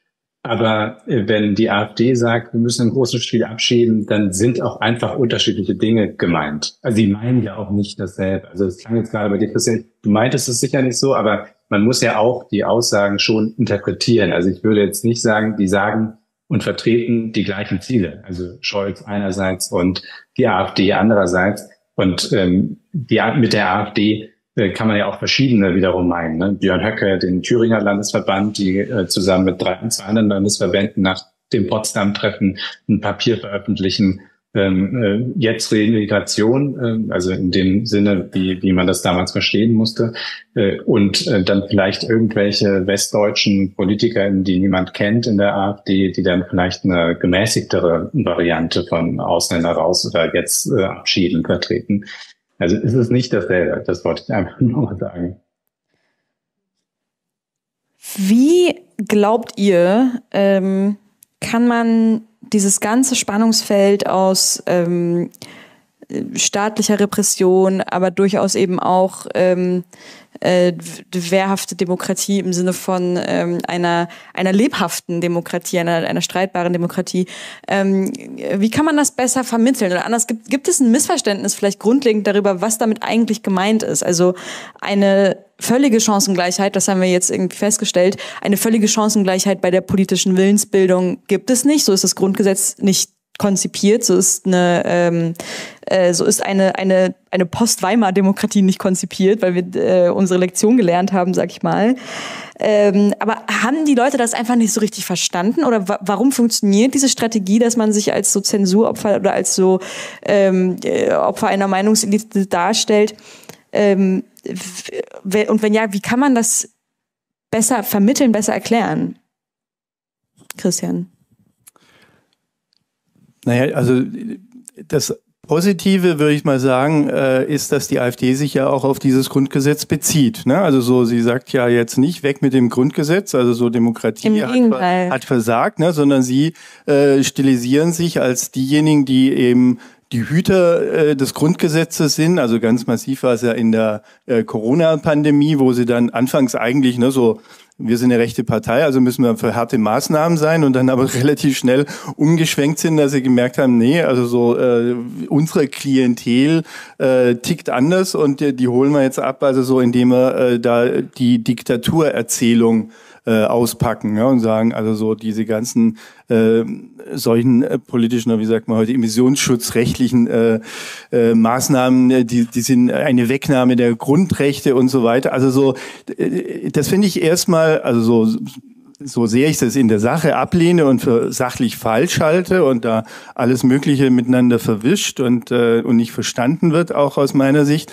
Aber ich finde es erstmal gut, dass sie immer noch äh, sozusagen auf der gleichen äh, Werteebene diskutieren, ne? weil das ja jetzt, ne, wir haben es ja gehabt, also die unterschiedlichen Wirklichkeiten, die es gibt. Also hier reden wir immerhin über die gleichen Grundrechte, die im gleichen Grundgesetz stehen und manchmal rufen sie sogar das Verfassungsgericht an, was erstmal auch, also die sind natürlich auch ein bisschen genervt, dass sie so oft angerufen werden, aber erstmal ist es ja durchaus positiv, dass es so noch gemeinsame äh, Dinge gibt, über die man dann diskutieren kann und äh, dieses ja? Ist das denn wirklich, ist das so oder ist das Rhetorik?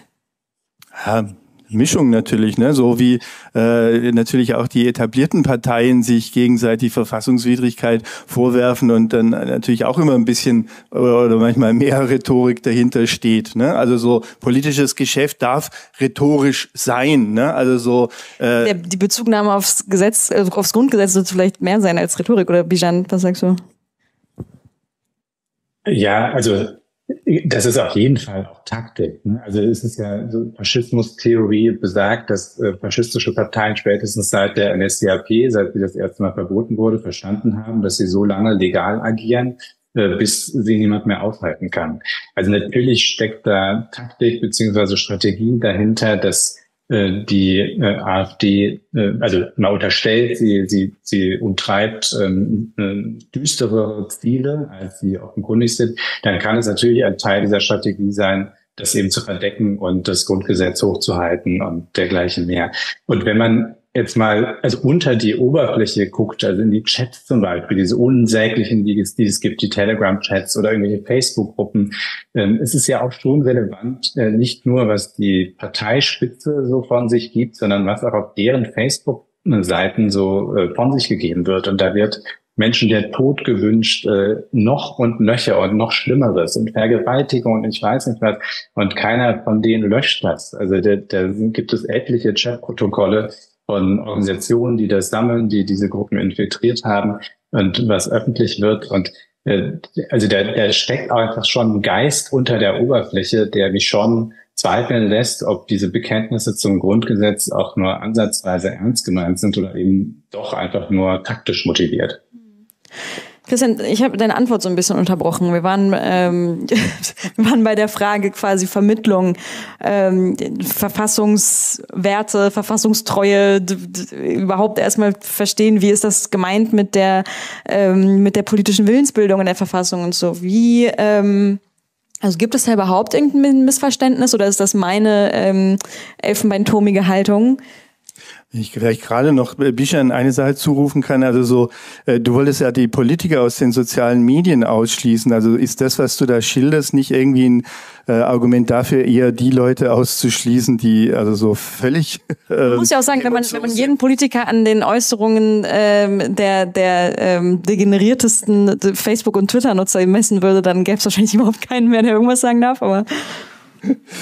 Ja, aber also so das ist halt dann, da ist man natürlich immer in der Schwierigkeit, ist das Öffentlichkeit oder ist das nicht Öffentlichkeit? Da wird ja auch viel drüber diskutiert, diese Chatgruppen, also sind es ab 20 Leuten Öffentlichkeit oder nicht? Also so, wo, wo darf ich irgendwie wirklich noch meinem sinnbefreiten, äh, niedrigsten in, äh, Beweggründen irgendwie Ausdruck äh, verleihen, ohne dass äh, dann jemand sagt, das äh, würde aber zu schlimmen Zuständen führen, äh, wenn dem jetzt alles äh, Folge geleistet wird. Ne? Also so, ich denke, da Ne? Also muss man irgendwie auch. Ähm, es ging ja um einen Geist. Also Bijan hat über einen Geist gesprochen, der zum. Ja, also so, ne, klar, es ist wie mit den auch mit den äh, psychisch äh, kranken rechten äh, Straftätern, ne? die, äh, greifen dann auch keine Rechten an, sondern Linken und Ausländer. Also die wissen dann schon, wo, wo sie sind und so ist es mit den äh, mit den ich sage jetzt mal böse mit den äh, Irren in äh, Chatgruppen auch. Ne? Also so, das ist natürlich irgendwie Ausdruck eines äh, gesellschaftlichen Klimas, wenn nicht in der Gesamtgesellschaft, dann um sie herum. Ne? Und äh, und da ist, ne, also jetzt um auf die Frage zu kommen, ne, wie wir wie wir das Klima äh, verbessern. Also so, ich glaube, dass äh, wir als der Teil der Gesellschaft, der sich für vernünftig hält und ähm, ja für sachlich und und ähm, für Menschen zugewandt, nicht menschenfeindlich und ähm, fortschrittlich im Sinne, dass man auch offen für neue Gedanken ist. Also so, ja, dass es da einfach dazugehört, dass man akzeptiert, dass andere Menschen eben nicht so sind, ja, oder noch nicht so sind, ja, und dass es äh, ja Fortschritt Reibung erzeugt, also so und äh, diese Reibung äh, auszuhalten ist. Und wenn die sich in äh, Parteien äh, manifestiert, die die schwierig sind, also so ja, also so, ich meine, das mit, mit Migration auch. Also so ist jetzt natürlich, habe ich da, sagen wir mal, nicht die richtige Migrationsgeschichte, um das zu sagen, ja, aber. So funktioniert diese Bühne nicht, ja, da. Ja, ja, genau, ne, also, äh, aber ähm, äh, eine Einwanderungsgesellschaft erzeugt natürlich auch spezifische Reibung, ne, und dass man da dann Themen wie Kriminalität von Ausländern irgendwie anders wahrnimmt als Themen von Feld, äh, Migration Kriminalität von Pfälzern oder von äh, Hessen, so äh, das äh, finde ich liegt irgendwie auf der Hand. Ne? Das ist soziologisch sicher gut also zu erklären. Toleranz der Intoleranz. Ja. Ja, das, so. äh, nein, das finde ich wirklich, also so äh, ist eine sehr, sehr gute Formel, ja, weil ich glaube, dass wir äh, in der Gesellschaft, äh, wenn wir sozusagen immer mit gleicher Münze Ne, sagen, die sind doch auch, ja, so, oder, oder wir müssen härter sein, weil äh, sonst kriegen wir die nie los. Also so, ähm, das, äh, ich glaube, dass es eher einen äh, Kreislauf äh, gibt, der eher kontraproduktiv ist. Sagt Christian Rath, was sagt Bijan? Ja, also äh, ich, ich verstehe den Gedankengang komplett und ich ähm, würde den mitgehen, wenn ich am Ende eben doch ganz schön viel auf dem Spiel stünde. Also äh, bis zu einem gewissen Grad, äh, finde ich auch, muss man viel aushalten. Gerade mehr, mehr aushalten, vielleicht auch einfach. Ja auch leider mehr aushalten, also einfach als Ergänzung eben, also als, als, äh, dass, dass wir das also mitnehmen können, einfach wirklich irgendwie ähm, mehr auszuhalten, auch einander auch mehr auszuhalten. Ja, ja, also ich meinte das jetzt eher abstrakt. Also ich weiß nicht, ob wir noch mehr aushalten müssen, als gerade jetzt schon so im Diskurs, in, in manchen Diskussionen äh, so passiert und gerade auch das, was ich eben zitiert habe oder wiedergegeben habe, was in manchen Chatgruppen eben auch öffentlich nachvollziehbar ist und auch Twitter und so weiter. Also da sind so viele unsägliche Dinge, die auch strafbar sind und so, die einfach nicht gelöscht werden, bei denen ich also jetzt schon nicht sagen würde, ob man jetzt unbedingt mehr aushalten muss. Ich meine, das mehr abstrakt. Wir müssen auf jeden Fall viel aushalten. Ähm, aber ich bin nicht dazu bereit, ähm, in, äh, ein, also eine, eine Regierungsübernahme durch Extremisten auszuhalten und zu gucken, äh, wo das dann hinführt. Also ähm, jetzt mal total zugespitzt. Äh, und ähm, also die AfD ist nicht die NSDAP und Björn Höcke ist nicht Adolf Hitler und wenn die AfD an die Macht kommt, wird es keinen zweiten Holocaust geben. Ja. Aber all das mal gesagt, hätten wir 1932 nach den letzten Wahlen im November als die NSDAP 33 Prozent äh, gewonnen hat. Hätten wir da die Möglichkeit gehabt, die NSDAP zu verbieten? Wer in diesem Raum hätte das nicht getan? Wissen natürlich jetzt mit dem, all dem, was passiert ist. Also die Toleranz muss Grenzen haben. Die Frage ist dann eher, also prinzipiell. Und ähm, die Frage ist dann einfach nur bis zu welchem Punkt. Und darüber kann und muss man streiten. Aber dass es grundsätzlich Grenzen geben muss für die Toleranz gegenüber dem Intoleranten, das ähm, hat die Geschichte gezeigt, das ist einfach wahr. Einverstanden alle? Ja, also da bin ich ja auch einverstanden. Wunderbar.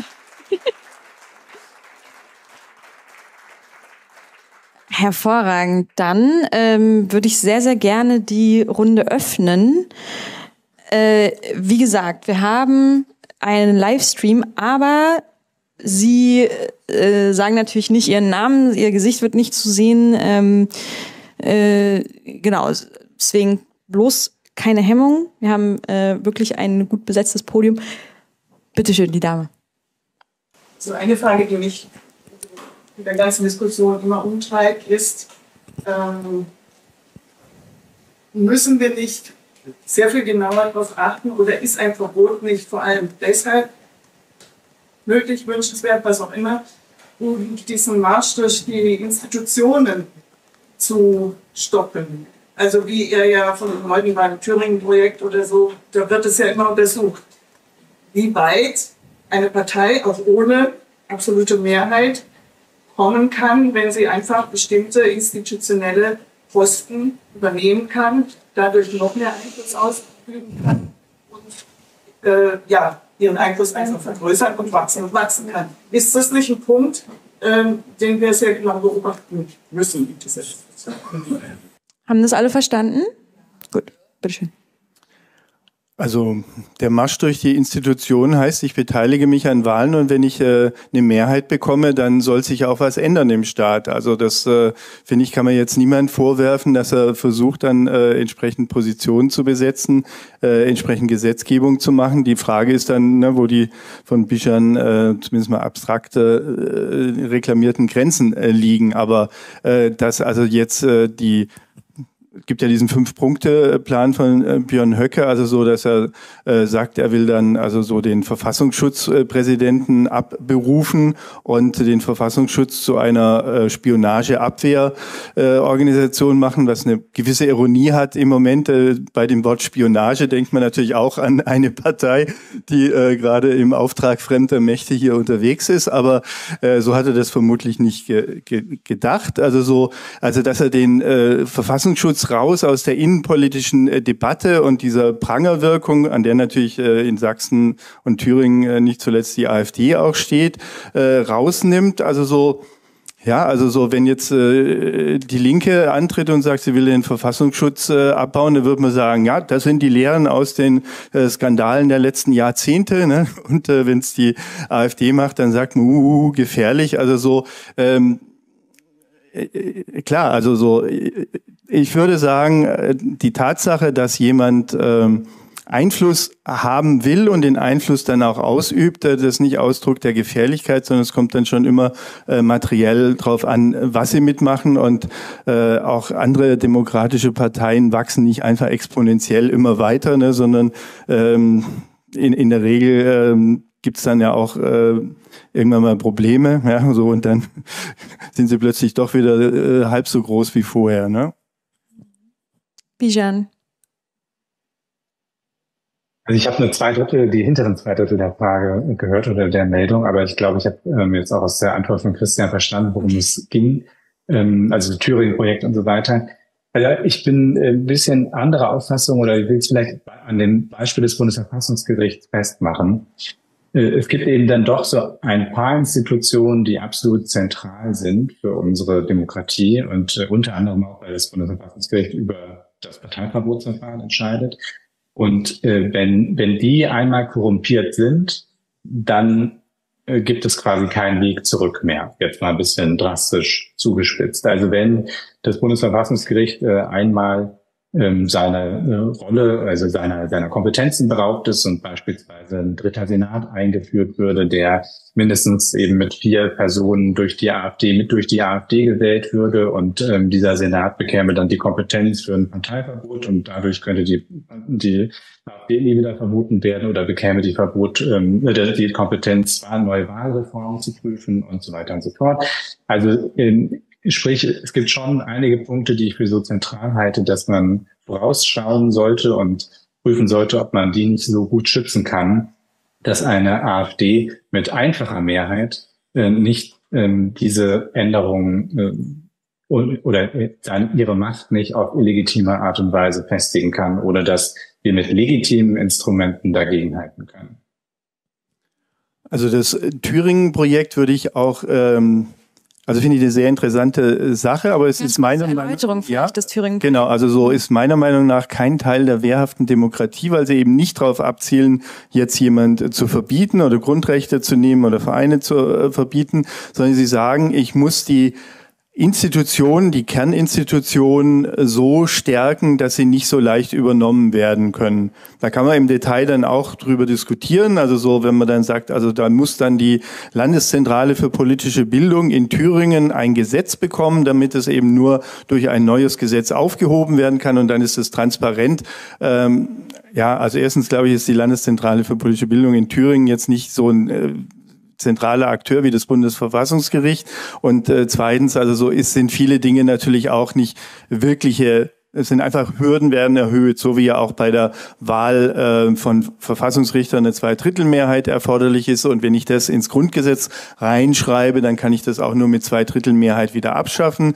Derzeit steht es in einem einfachen Gesetz und ich kann es mit einfacher Mehrheit dann auf Wahl mit einfacher Mehrheit umstellen. Ne? Das sind so die Dinge, über die das Thüringen-Projekt äh, redet. Also wie muss ich die Regeln verändern, damit ich die Demokratie schützen kann, ohne irgendjemand äh, Grundrechte wegzunehmen. Und deswegen, also so ist das, diese Resilienz der Demokratie, also die Widerstandsfähigkeit der Demokratie gegen Übernahme, also gegen feindliche Übernahme, muss man ja immer sagen, äh, äh, das halte ich für, für eine durchaus legitime äh, Diskussion. Ja. Ähm, das Thüringen-Projekt ist äh, vom Verfassungsblock ähm, eine, eine Reihe von Beiträgen, die sich äh, mit der Frage beschäftigen, wie, äh, am, am Beispiel Thüringens, wie man die das sind zehn Leute, ne? Da ist richtig viel Geld dazwischen, ne? Weil also so ein viel Heilserwartung und ich glaube, dass es auch äh, etwas übertrieben ist, ne? Also so, also das Beispiel mit der Landeszentrale für politische Bildung, das zeigt so, ne? Also dass diese Beispiele, also wo sie dann gesagt haben, da haben wir eine Schwachstelle entdeckt. Äh, es ist nicht so, dass also so mit den Vorschlägen, die die jetzt letzte Woche oder vorletzte Woche vorgestellt haben, dass damit irgendwie äh, der Faschismus in Thüringen verhindert werden kann. Ne? Also wenn also so Björn Höcke eine Mehrheit hätte äh, und äh, da absolut regieren würde, dann würden alle diese sieben Vorschläge, glaube ich, äh, gar nicht mehr groß wirken. Aber, und äh, dann muss man sehen, Thüringen ist halt nur ein Bundesland. Ne? Also es gibt nach wie vor die Möglichkeit, jedes thüringischen Bürgers und Bürgerin das Bundesverfassungsgericht anzurufen, wenn also diese AfD Mehrheit im Landtag dann äh, diskriminierende, antidemokratische, grundgesetzwidrige Gesetze macht. Und letzter Punkt, Polen, ne, also so das polnische Verfassungsgericht wurde völlig gedreht, ne, also so das wurde sozusagen äh, unterwandert von äh, der PIS-Regierung äh, und war kein, also kein Kontrolleur mehr, ist also praktisch als Kontrolleur ausgeschaltet worden und trotzdem ist es A gelungen, also durch Wahlen wieder eine neue Regierung zu bekommen. Und diese neue Regierung, neue Parlamentsmehrheit muss jetzt mit diesem ja umgedrehten, äh, noch aus der alten äh, antidemokratischen Regierungszeit besetzten Verfassungsgericht leben, was alles auch schwierig ist, ja, und äh, aber es geht auch offensichtlich und man wird irgendwie auch noch einen Weg finden, also so hoffentlich, also wie man mit diesem Verfassungsgericht und diesem Präsidenten umgeht. Also es ist auch nicht so, dass praktisch alles immer nur schiefe Ebene ist und wenn man erstmal einen Kipppunkt erreicht hat, äh, dann ist kein Aufhalten mehr. Also so, wir sind hier in einer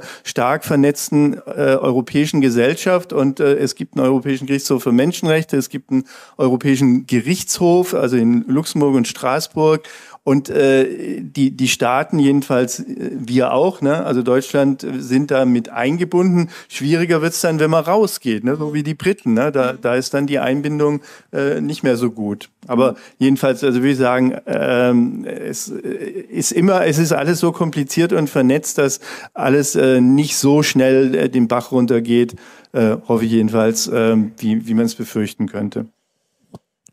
Genau. Weitere Fragen? Ja, darf ich jetzt auch? Ja, klar. Also, klar. Ja, nee, nee, nee, nimm mal Fragen dran. Das ist, äh, Gut. Bitteschön. Ja. Achso, da erstmal herzlichen Dank für die Darstellung. Ich fand, Sie haben das Spannungsfeld ausgeleuchtet. Das hat mir gut gefallen, aber ich habe noch keine Antwort letztlich, was man macht. Worauf ich eigentlich hinaus will, äh, wir haben auch das angeführt, so äh, wie eigentlich die etablierten Parteien bestimmte Themen übernehmen. Und ich glaube, wir haben ein großes Problem in unserer Debatte, dass auch äh, zum Beispiel beim Migrationsthema die Problemanalyse der AfD Einfluss genommen hat auf die Diskurs, auf, insgesamt auf den Diskurs, den wir in der Gesellschaft haben. Ich überspitze jetzt bewusst ein bisschen, wenn ich die Augen zumache und bestimmte Politiker und Politikerinnen höre, habe ich manchmal das Gefühl, auch wenn sie auch in der CDU sind, äh, ich, das hört, hört sich an die AfD bei einigen Punkten so. Und ich wünsche mir eigentlich von unseren demokratischen Parteien, dass sie diesem Diskurs oder diesen Positionen der AfD etwas entgegensetzen, inhaltlich und nicht nachäffen und auch sind. Also Sie haben bisher das Beispiel genannt, irgendwie von der Spiegelgeschichte, wir müssen einen großen Stil abschieben von, von von Scholz, das ist für mich eigentlich unsäglich. Und das ist eigentlich der Punkt, wo wir eigentlich mehr Zivilcourage brauchen, mehr Widerstand brauchen, um dem etwas entgegenzusetzen und nicht den Diskurs zu imitieren und glauben, es wird besser dadurch. Und vielleicht eine Anschlussfrage, wir haben ja auch den Artikel 20 Grundgesetz zitiert, es gibt ja auch den Artikel, den, den Absatz 4 da drin, wo das Widerstandsrecht des deutschen Volkes auch nochmal beschrieben wird. Vielleicht können Sie da auch nochmal was zu sagen. Ob das eigentlich eine Möglichkeit ist, wenn es denn mal so weit käme, dass die AfD an die Regierung kommt, was wir dagegen tun können. Also wenn die AfD an der Regierung wäre, wäre auf jeden Fall kein äh, Fall von Artikel 20.4. Also da warne ich Sie ausdrücklich. Also wenn Sie jetzt schon die Waffen im Keller haben, also so äh, machen Sie keine Dummheiten, ja. Also so da kommen Sie, in Teufelsküche. kommen Sie in Teufelsküche mit. Also da geht's wirklich um einen Putsch oder also so, ne? also dass nur eine Regierung an die Macht kommt, die man für gefährlich hält und der man alles Mögliche zutraut, ja, aber die noch das noch nicht gemacht hat, ist äh, kein Fall für den Widerstandsrecht. Also das ist natürlich auch so, sagen wir mal gewisse Poesie auch. Ne? Also so, das ja in den, der Phase der Notstandsgesetze ist es eingekommen, so als Ausgleich, ne? dass man gesagt hat, der Staat soll mehr Möglichkeiten haben. Also die Bundeswehr soll auch äh, Ausstände niederschlagen können. Äh, so und dann soll aber auch umgekehrt, wenn wenn alle Institutionen versagen oder ausgeschaltet sind, soll der Bürger eben auch nochmal ermächtigt und ermutigt werden. Ne? Aber das ist, ähm, glaube ich, keine Situation mehr, wo wir über rechtliche Kategorien äh, reden. Und äh, ja, der, der andere äh, Punkt, äh, den Sie hatten.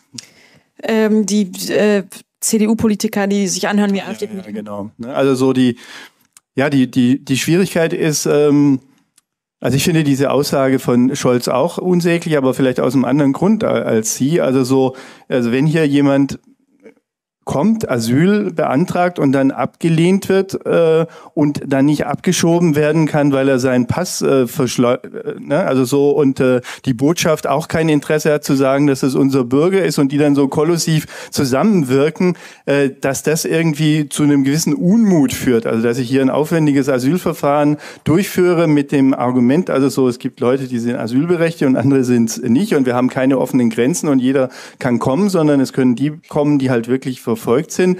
Äh, wenn es dann dadurch unterlaufen wird, dass die, die nicht, also nicht als verfolgt anerkannt sind, einfach da bleiben, ähm, das äh, kann man drüber diskutieren, also ob das jetzt äh, toll ist oder nicht toll ist. Ne? Wenn man für offene Grenzen ist, kann man sagen, ja, das ist pfiffig.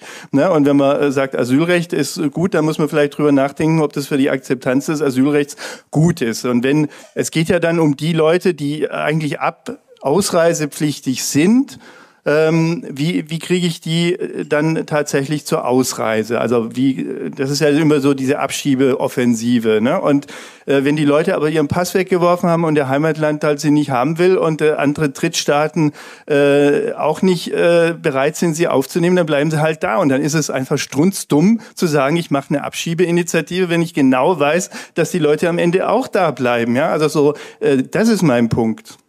Meine, meine Frage war gleich meiner Sicht, ich finde es nicht nochmal ergänzen darf. Äh, es ging ja darum, dass, dass der Diskurs übernommen wird, dass man sozusagen mit denselben Mitteln arbeitet. Also diese Frage, machen wir äh, die Außengrenzen, die Asylverfahren bei den Außengrenzen? Und, und es wird diskutiert, das England-Verfahren, die Briten, also mit Ruanda oder sowas. Das ist doch eine Übernahme eines Diskurses, der dem, was wir eigentlich wollen, völlig widerspricht aus meiner Sicht. Und da würde ich mir von den demokratischen Parteien eine andere Position wünschen, dass sie sich entgegensetzen und nicht nachäffen. Ganz kurze Antwort und dann Bijan. Also äh, Ruanda-Verfahren äh, ist sowas von bescheuert, äh, aber auch wieder auf der Ebene. Ich meine, das wird auch in Großbritannien nicht funktionieren, selbst wenn also da jetzt äh, der oberste Gerichtshof und der Europäische Gerichtshof für Menschenrechte mitmachen. Also so, da geht's um ein, äh, die haben Verträge geschlossen, ein paar hundert Leute nach Ruanda zu bringen, die dann aber ja auch dort bleiben sollen. Es geht nicht darum, das Asylverfahren in Ruanda durchzuführen. Ja, und dann Thema ist Diskursübernahme. Ja, ne, aber so, äh, es ist einfach äh, sowas von bescheuert, also so, äh, dass es äh, schon mal deswegen überhaupt nicht ernst zu nehmen ist. Äh, und die, die Frage, ob ich jetzt einen Diskurs, ne, also so, äh, wenn immer gesagt wird, illegale Migration, also das ist ein Begriff, an dem ich mich zum Beispiel störe, weil natürlich jeder, der irgendwie hier ohne Visum ins Land kommt, illegal ist. Ne? Also so, du hast eben kein Visum typischerweise und äh, dass das immer mit dem äh, sozusagen Stigma der Illegalität äh, versehen wird, das ist eine Diskursübernahme, die nicht sein müsste. Aber dass man drüber diskutiert, also so, ob man das Asylverfahren äh, also weiterhin aufrechterhält und wie man Akzeptanz dafür schafft, äh, dass äh, Leute hier bleiben und andere nicht hier bleiben. Also so, das finde ich erstmal eine legitime Diskussion und äh, die halte ich auch nicht für eine Diskursübernahme. Da muss man ja auch in der Linken immer mal wieder diskutieren und sagen, also so seid ihr jetzt einfach per se gegen alles, nur weil, äh, na, also so die Bevölkerung ist ja jetzt nicht nur von der AfD verhetzt, sondern also so, äh, das ist ja auch, dass die AfD da einfach Stimmung in der Bevölkerung aufnimmt. Ne? Also so, äh, es, es ist ja... Hm? Das Volk ist verhetzt. Ja, also so, äh, Sie wollen jetzt darauf raus, dass nur äh, deutsche Staatsbürger verhetzt sind. Nein, also auch, nee. auch unter den Migranten ist es durchaus also so, dass sie sagen, ja, wir sind die guten Migranten und da müssen nicht immer noch mehr kommen. Also äh, das ist alles sehr vielschichtig. Bijan. Bijan. Das nimmt eine Stimmung im Volk auf. Aber ich habe gesagt, ist das Volk verhetzt. Das ah. war eine winzige Bemerkung. Entschuldigung. Bijan. Entschuldigung.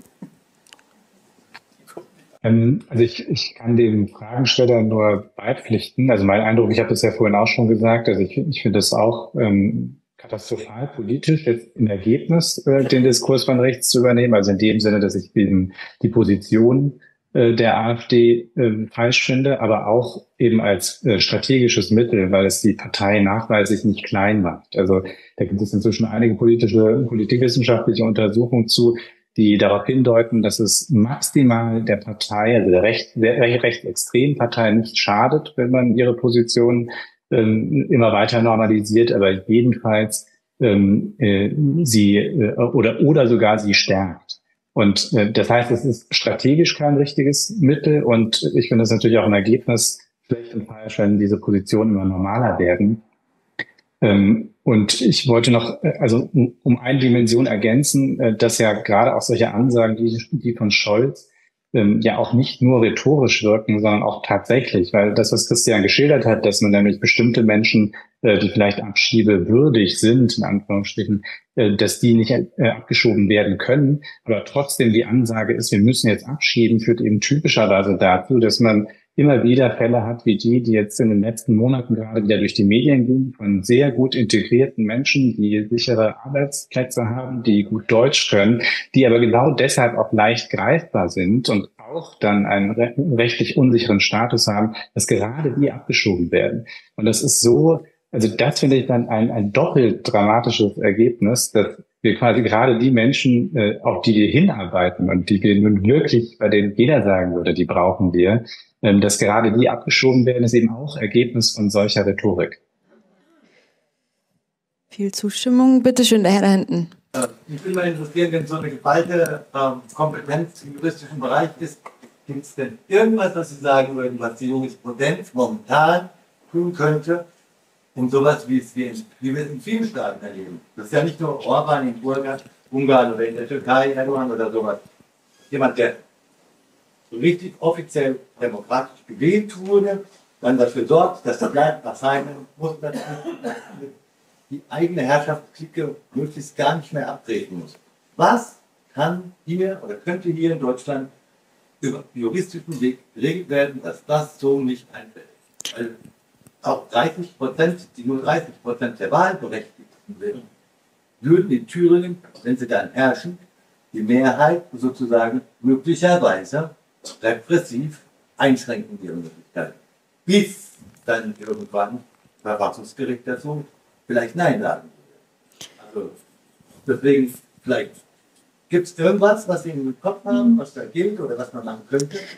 Bijan, ich würde es gerne an dich geben mit, mit Blick auf, äh, auf den Verein, für den du arbeitest. Ich habe leider die Frage nicht verstanden. Äh, war zu weit hinten im Raum oder ich weiß nicht, also es kam bei mir einfach nicht an. Da eben so eine geballte juristische äh, Kompetenz äh, auf dem Podium ist, ähm, was kann die Jurisprudenz, sehr schönes Wort, ähm, tun, um solche Szenarien wie in Ungarn oder der Türkei zu verhindern, wo eben jemand ähm, überaus demokratisch an die Macht kommt und dann eben den Staat, ähm, ne, ich gebe es richtig wieder, eben so umbastelt, dass äh, seine Clique äh, gar nicht mehr abtreten muss. Ja, also äh, da gibt es eine formale Antwort, die ist, äh, der Staat kann, die Jurisprudenz, also die Gerichte können sehr viel tun und es gibt eine faktische Antwort, äh, denn das kann sehr schnell an Grenzen stoßen. Also formal kann natürlich, hat ja Christian auch schon vorhin gesagt, jedes verfassungswidrige Handeln des Staates kann vor Gericht gebracht werden und am Ende steht dann, wenn es eben verfassungswidrig ist, ein Urteil, das dann lautet, dieses Gesetz äh, ist verfassungswidrig oder sogar nichtig, dann sofort nicht mehr angewendet werden diese oder jene Abschiebung ist verfassungswidrig oder eben auch nur einfach rechtswidrig und äh, darf deshalb nicht durchgeführt werden. Faktisch ähm, gibt es aber dann erstmal einen jahrelangen Rechtsstreit darum. Dann gibt es ähm, am Ende vielleicht eben zum Beispiel ein Urteil, ja, diese Abschiebung war rechtswidrig, aber der Mensch ist schon längst nicht mehr in Deutschland und hat auch keine Möglichkeit, wieder zurückzukehren. Und noch schlimmer, wenn man noch weiter denkt, äh, irgendwann setzt die Regierung vielleicht diese Urteile auch schlicht nicht mehr um. Und dann gibt es zwar verschiedene Eskalationsstufen, also wenn zum Beispiel dieses, ähm, diese Renitenz gegen Gerichtsentscheidungen nur auf Landesebene ist, dann gibt es äh, Möglichkeiten des Bundeszwangs, wie dann zum Beispiel die Bundesregierung, äh, die könnte dann äh, Beauftragte äh, einsetzen, die dann die Landesregierung auf äh, Trab bringen sollen. In Extremfällen kann man sogar auch nochmal gestützt auf einen anderen Artikel im Grundgesetz die Bundespolizei schicken und die bringt dann Ordnung ins Land. Das sind natürlich Eskalationsszenarien, die voraussetzen, dass dann auf Bundesebene wiederum so viel ähm, Wille und Bereitschaft ist, äh, so zu eskalieren, dass dem noch Einheit geboten wird. Und man darf auch nicht unterschätzen, dass natürlich parallel zu so einer Entwicklung, wenn es denn je wirklich so, so extrem wird, ja auch unterschwellig bis dahin mutmaßlich große Teile der Bevölkerung längst auf Seiten der autokratischen, grundgesetzfeindlichen Gesetze sind. Also das Szenario, in dem in einzelnen Bundesländern wirklich radikal gegen die Verfassung verstoßen wird und nicht gleichzeitig auch ein erheblicher Teil der Bevölkerung hinter diesen Handlungen steht, halte ich für unwahrscheinlich, weil es politisch unklug wäre. Also ich glaube, dass Faschisten unterstellt in der AfD ähm, dominieren sie, ähm, sich wirklich dann erst hinreißen lassen zu den extremsten Maßnahmen, wenn sie sich sicher sind, dass äh, ihnen politisch kein Einhalt mehr geboten werden kann, egal ob irgendein Urteil irgendwas, äh, in einem Gericht irgendwas entscheidet oder nicht. Also sprich, formal gibt es sehr viele Möglichkeiten, aber faktisch haben die nur eine, ähm, also die werden nur begrenzt lange wirken und funktionieren. Also die europäische Ebene gibt's ja äh, auch noch. Ne? Also so, wenn man jetzt zum Beispiel anguckt, äh, ähm, wie mit Polen und Ungarn umgegangen worden ist. Also da hat man irgendwann festgestellt, dass die Mechanismen nicht ausreichen. Also so äh, Polen wurde ja angedroht, das Stimmrecht äh, zu entziehen, also sie praktisch aus der polnischen Willensbildung auszuschließen. Aber das hätte vorausgesetzt, dass alle anderen der Meinung sind, dass Polen nicht mehr mitmachen kann. Solange Ungarn da Polen gedeckt hat, äh, war das ausgeschlossen. Und da äh, gibt es seit äh, drei Jahren eine Möglichkeit, Finanzsanktionen zu verhängen. Also das war ein Meisterstück, das gegen Polen und Ungarn durchzusetzen. Und äh, das Instrumentarium ist auch vom EuGH äh, geprüft worden. Also das ist jetzt anwendbar und äh, hat ja möglicherweise auch ein bisschen zu diesem Machtwechsel in Polen mit dazu beigetragen, weil da halt einfach zig Milliarden blockiert waren mit dem Argument, also ihr habt eure Justiz so umgebaut, dass die kein richtiges Kontrollinstrumentarium äh, mehr für eure Politik ist und deswegen dann also so auch ja natürlich immer mit dem grenzüberschreitenden Argument, dass dann europäische Gelder dort äh, auch nicht richtig ausgegeben werden, nicht richtig kontrolliert werden. Und äh, dieses Instrument Instrumentarium äh, wird im Moment auch gegen Ungarn äh, benutzt. Äh, kann natürlich von Ungarn umgekehrt wieder äh, benutzt werden, zu sagen, also wir stimmen dann Sanktionen gegen die Ukraine nur zu, wenn ihr uns äh, da das blockierte Geld gebt. Ne? Das ist natürlich alles äh, wieder kompliziert und geht in jede Richtung, aber auf dieser finanziellen Ebene der Einbindung in die Europäische Union gibt es auch für Staaten, die schon relativ weit abgedriftet sind, solange sie Teil der Europäischen Union bleiben wollen und sich nicht gleich Russland anschließen, aber so lukrativ scheint es noch nicht zu sein, ähm, gibt es jedenfalls weiterhin Einflussmöglichkeiten und das wäre jetzt also so ein Argument ähm, zu sagen, also das ist ja geschaffen worden, ne? also so, ne? das haben kluge Leute sich überlegt, äh, wie äh, komme ich an Staaten, die schon ziemlich weit äh, abgedriftet sind, noch ran über Geld. Weitere Darf ich dir vielleicht ganz kurz zwei Dinge entgegenhalten? Kurz, ja. Also ja. Ungarn und Polen sind ja netto äh, Profiteure der EU und Deutschland ist, soweit ich weiß, Nettozahler. Ähm, das ist das eine. Und das andere, ich glaube, die EU ohne Deutschland ist schlicht nicht vorstellbar. Und die AfD hat ja auch deutlich gemacht, wenn die Europäische Union, so wie sie jetzt besteht, sich nicht radikal ändert, ähm, wird sie, würde sie die Union verlassen. Also ich glaube ich, so richtig, dass die EU wirklich genügend Druckmittel gegen eine von der AfD, ähm, gegen, äh, gegen ein von AfD, der AfD regiertes Deutschland hätte. Das, ähm, auch wenn es theoretisch äh, klappen könnte, also rein praktisch, politisch kann ich es mir irgendwie nicht vorstellen. Weitere Fragen, bitteschön. Ich habe, glaube ich, gar keine Frage, sondern es ist ich will mal von der großen EU-Ebene wieder zurück auf das kleinste Glied kommen, nämlich das ist eigentlich der einzelne kleine Königsmacher. Wir gucken oft nach Thüringen, wenn, die, wenn wir AfD sagen, aber wir dürfen auch ruhig nach Hessen gucken, auch da wachsen die AfD-Zahlen. Und tatsächlich ist es wie in Italien und Polen der einzelne Mensch, der diese Parteien stark macht. Und mich hat immer gewundert, was macht den Wähler so sicher, dass er bei der AfD zu Hause ist. Und mein Gefühl, also oder meine Beobachtung ist, dass es die Ohnmacht ist. Wir haben tatsächlich in Thüringen und in Sachsen tatsächlich ein Ohnmachtsgefühl gegenüber dem Regierenden gehabt. Und das sind kleine Königsmacher. Sie fühlen sich heute mächtig, dass sie jemand Kraft geben können, plötzlich in Regierungsgeschäfte sich einzumischen. Und ich glaube, wir verlieren oft in dieser Diskussion eigentlich den nächsten Menschen, der sich dazu berufen fühlt, eine radikale Partei in Regierungsposition zu bringen. Was können wir tun? dass all die Menschen, die AfD wählen, eigentlich wieder, sage ich mal, auf den Boden auch demokratischer Werte kommen. Tja. Jetzt, jetzt sind die Juristen mal gefragt.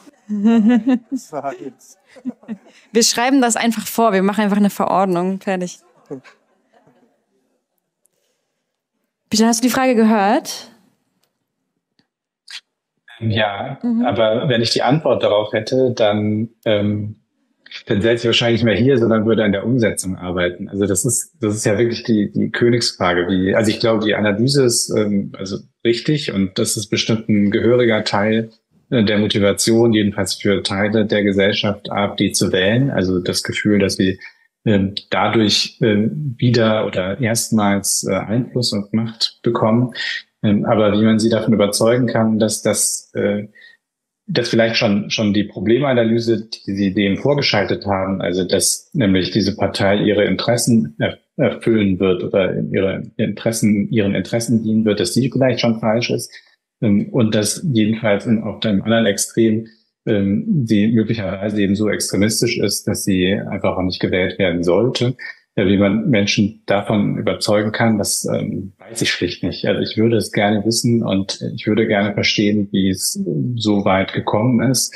Und ähm, ich, aber ich habe kein, kein Patentrezept dafür. Und ich bin auch skeptisch bei jedem, der das hat. Also so wie wenn Sigmar Gabriel sagt, ja, man muss da hin und mit den Leuten reden und so weiter. Ja, also das, die, es wurden jetzt zehn Jahre lang wurden alle möglichen Strategien versucht und alles ist gescheitert, wenn man sich die äh, Prozentzahlen anguckt. Und man muss vielleicht auch ein Stück weit einfach den, den größeren Kontext sehen, also Ukraine-Krieg und die Corona-Zeit und aber da sind so viele globale ähm, Faktoren äh, reingekommen in, in, in diese äh, oder haben Einfluss genommen auf diese Wahlentscheidungen, die wir auch einfach nur zu einem sehr kleinen Teil, glaube ich, noch äh, einfangen können in ihrer Wirkung. Ähm, und ich habe so ein bisschen die leise Hoffnung, dass vielleicht auch die Zeit so gewisse Dinge wieder ähm, heilen kann. Aber dafür müssen wir diese Zeit eben auch bekommen. Also, dass sich die Verhältnisse wieder entspannen und normalisieren und Menschen sehen, wie gut wir eigentlich hier in diesem Land und heute leben. Ne? Also das, das finde ich immer so absurd, dass, ähm, dass der Untergang herbeigeschrieben und gerufen wird, während die Generation, die jetzt heute in Deutschland lebt, so gut, so wohlhabend und sicher lebt, immer noch trotz äh, Ukraine-Krieg und ich weiß nicht was, äh, wie so gut wie kein Mensch in Deutschland in den letzten 2000 Jahren, um es jetzt mal zu übertreiben, und erst recht wie ganz, ganz wenige Menschen nur anderswo auf der Welt. Äh, und diese Erkenntnis wieder durchzusetzen, ist ähm, ja, wichtig, aber ich weiß nicht, wie wir das schaffen. Es gibt viele weitere Fragen. Die Dame da hinten hat sich untermeldet. Ähm, Stichwort Selbstwirksamkeit. Also ich würde da auch gerne anknüpfen, was Sie sagen, der einzelne Mensch.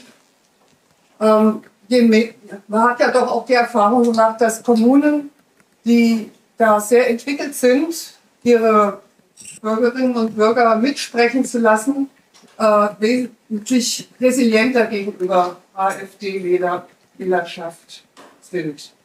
Da gibt es doch bestimmt viele, also in dieser Richtung müsste man doch weiterdenken. Selbstwirksamkeit als Lösung. Ja, es fängt natürlich dann damit an, also so dann ähm, äh, vertreten die Menschen dann irgendwelche Positionen, die andere als rassistisch äh, bezeichnen und dann sagt man, na, deine Selbstwirksamkeit, die wollen wir jetzt nicht und so oder die Haltung gegenüber äh, Volksentscheiden. Ne? Ich meine, die Grünen waren auch mal äh, große Befürworter von plebiszitärer Demokratie. Das ist ja auch ein bisschen abgeflaut, ne? seit das äh, die Bevölkerung oder das Volk äh, nicht mehr äh, zwingend äh, ja, aber da haben sie es doch auch. Ne? Dann, dann gibt es den sachverständigen Bürger, der im Gemeinderat äh, so.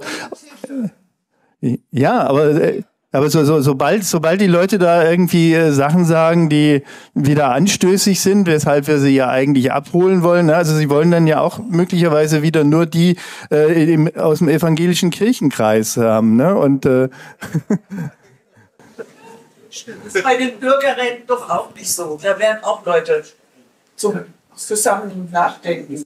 Ja, also, also soll man soll man die Leute zusammenbringen? Ist die Lösung möglicherweise die Leute zusammenzubringen, ähm, die, die, ähm, die, die verschiedenen Positionen dann auch bewusst, weil man eben sich darüber im Klaren ist, dass das genau der Grund ist, warum man hier zusammensitzt, weil die Positionen auseinandergehen, dass man dann eben auch, äh, muss man dann in der Lage sein, eben dann auch einen rassistischen Vorschlag ähm, vielleicht nicht sofort umzusetzen, äh, aber eben zu hören und, und dem Ganzen dann Legitimität zu verschaffen. Und auf wessen Kosten? Bijan. Ja, also für mich, äh, ich finde nicht, dass man, dass, dass jede Meinung gleichberechtigt gehört werden muss. Also jede kann ausgesprochen werden äh, und das heißt ja auch Meinungsäußerungsfreiheit, aber es ist eben nicht die Freiheit oder das Recht darauf, von jedem gehört zu werden. Und ich finde es äh, völlig legitim, dass bestimmte Positionen die gleiche Lautstärke erhalten wie andere. Und zu diesen bestimmten Positionen gehören für mich auch extremistische in beide Richtungen. Bei uns dominiert äh, aus meiner Sicht eine rechtsextremistische Position, die, also jedenfalls im öffentlichen Diskurs, linksextremistische, also die ähm, ja, ich weiß gar nicht ehrlich gesagt, wie man, was jetzt genau eine linksextremistische Position wäre, jenseits von ähm, kein Eigentum, äh, wir zerstören alle Großunternehmen oder ich weiß nicht mehr. Also ich höre sowas einfach sehr, sehr Nazis töten. Äh, aber rechtsextrem ja, Nazis töten, das ist ja auch so, also diese typische ambivalente Aussage, ne? Also Nazis als äh, Subjekt oder Nazis als Objekt. Äh, aber egal, das ist ja also so eine Rechtsdiskussion. Also wie, wie interpretiert man diese Aussage? Also äh, aber zurück zu der, der, der Intervention, also Selbstwirksamkeit und auch den Kommunen. Also es gibt ja auch da, ich bin wie gesagt kein Rechtsextremismusforscher, aber ja wohl Evidenz, dass äh, gerade äh, rechtsextremistische Parteien auch tatsächlich gezielt auf den Kommunen, äh, in kommunaler Ebene, auf der kommunalen Ebene anfangen. Also die NPD war ja auch sehr stark darin, dann so Jugendlager zu organisieren und ähm, überhaupt äh, lauter Dienstleistungen anzubieten, also Volksfeste oder so in, in Regionen, in denen äh, sowas vom Staat nicht mehr organisiert wurde.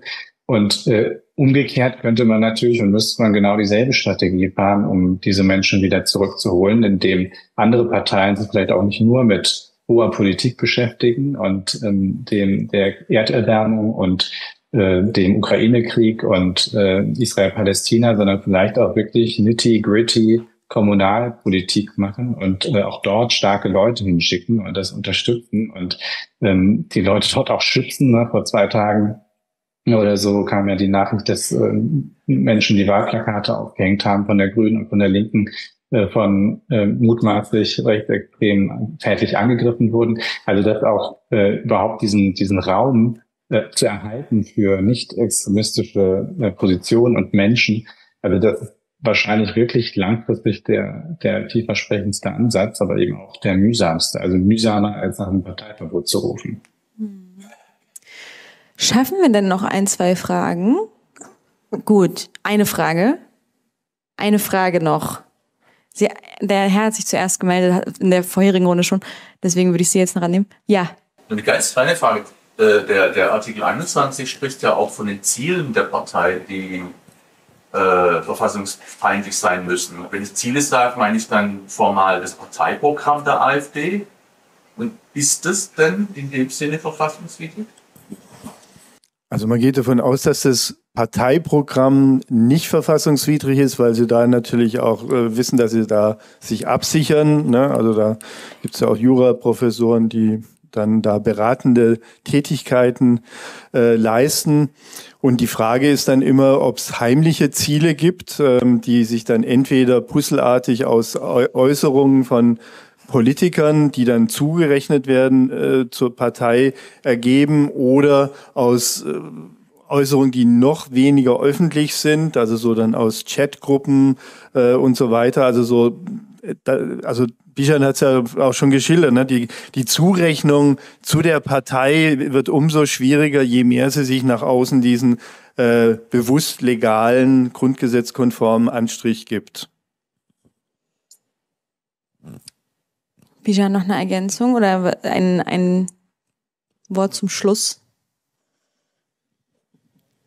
Ähm, ja, also Christian hat das gerade gut auf den Punkt gebracht. Also das, es geht um die wirklichen Ziele, nicht um die Ziele, die irgendwo drinstehen. Und es ist extrem schwierig, äh, einer Partei diese wirklichen Ziele nachzuweisen, wenn die sich nicht decken mit dem, was sie öffentlich sagt. Äh, und man kann das ähm, versuchen, aber es ist schwierig. Und jetzt zum Abschluss, ich habe ja schon äh, jetzt viel geredet heute. Ich bin nicht unglücklich, wenn wir jetzt aufhören, weil ich großen Hunger habe, nur so einen abgeknabberten Schokohaare habe, der es nicht mehr weiter durch den Abend bringt. Ähm, tut mir total leid, dass ich nicht persönlich da war. Es hätte mir, glaube ich, noch größeren Spaß gemacht. Aber ja, vielen Dank für, für die Einladung und für das äh, jetzt auch die letzten 30 Minuten mit dem Gespräch mit dem Publikum. Ja, das Lese mich an. Vielen Dank. Dankeschön, Dankeschön. Jetzt äh, möchte ich natürlich auch extra schnell äh, Schluss machen, damit Bijan seine Schokolade essen kann. Ähm, äh, es war wirklich eine große Freude. Ich fand es ähm, sehr schön, auch sehr erfrischend, einfach diesen sehr, sehr informierten und äh, ja, einfach educated Unterhaltung zu haben miteinander. Ähm, nehmen Sie sich gerne noch eine Freitagausgabe da hinten mit. Und ansonsten äh, haben Sie einen schönen Abend. Vielen Dank, dass Sie gekommen sind. Vielen Dank fürs Zuhören. Und ähm, äh, man kann es versuchen, aber es ist schwierig, hatte, hatte Bijan vorhin gesagt. Ich glaube, das ist äh, vielleicht ein schöner Satz zum Schluss. Äh, wir versuchen es weiter und ähm, genau, haben Sie einen schönen Abend. Kommen Sie gut heim.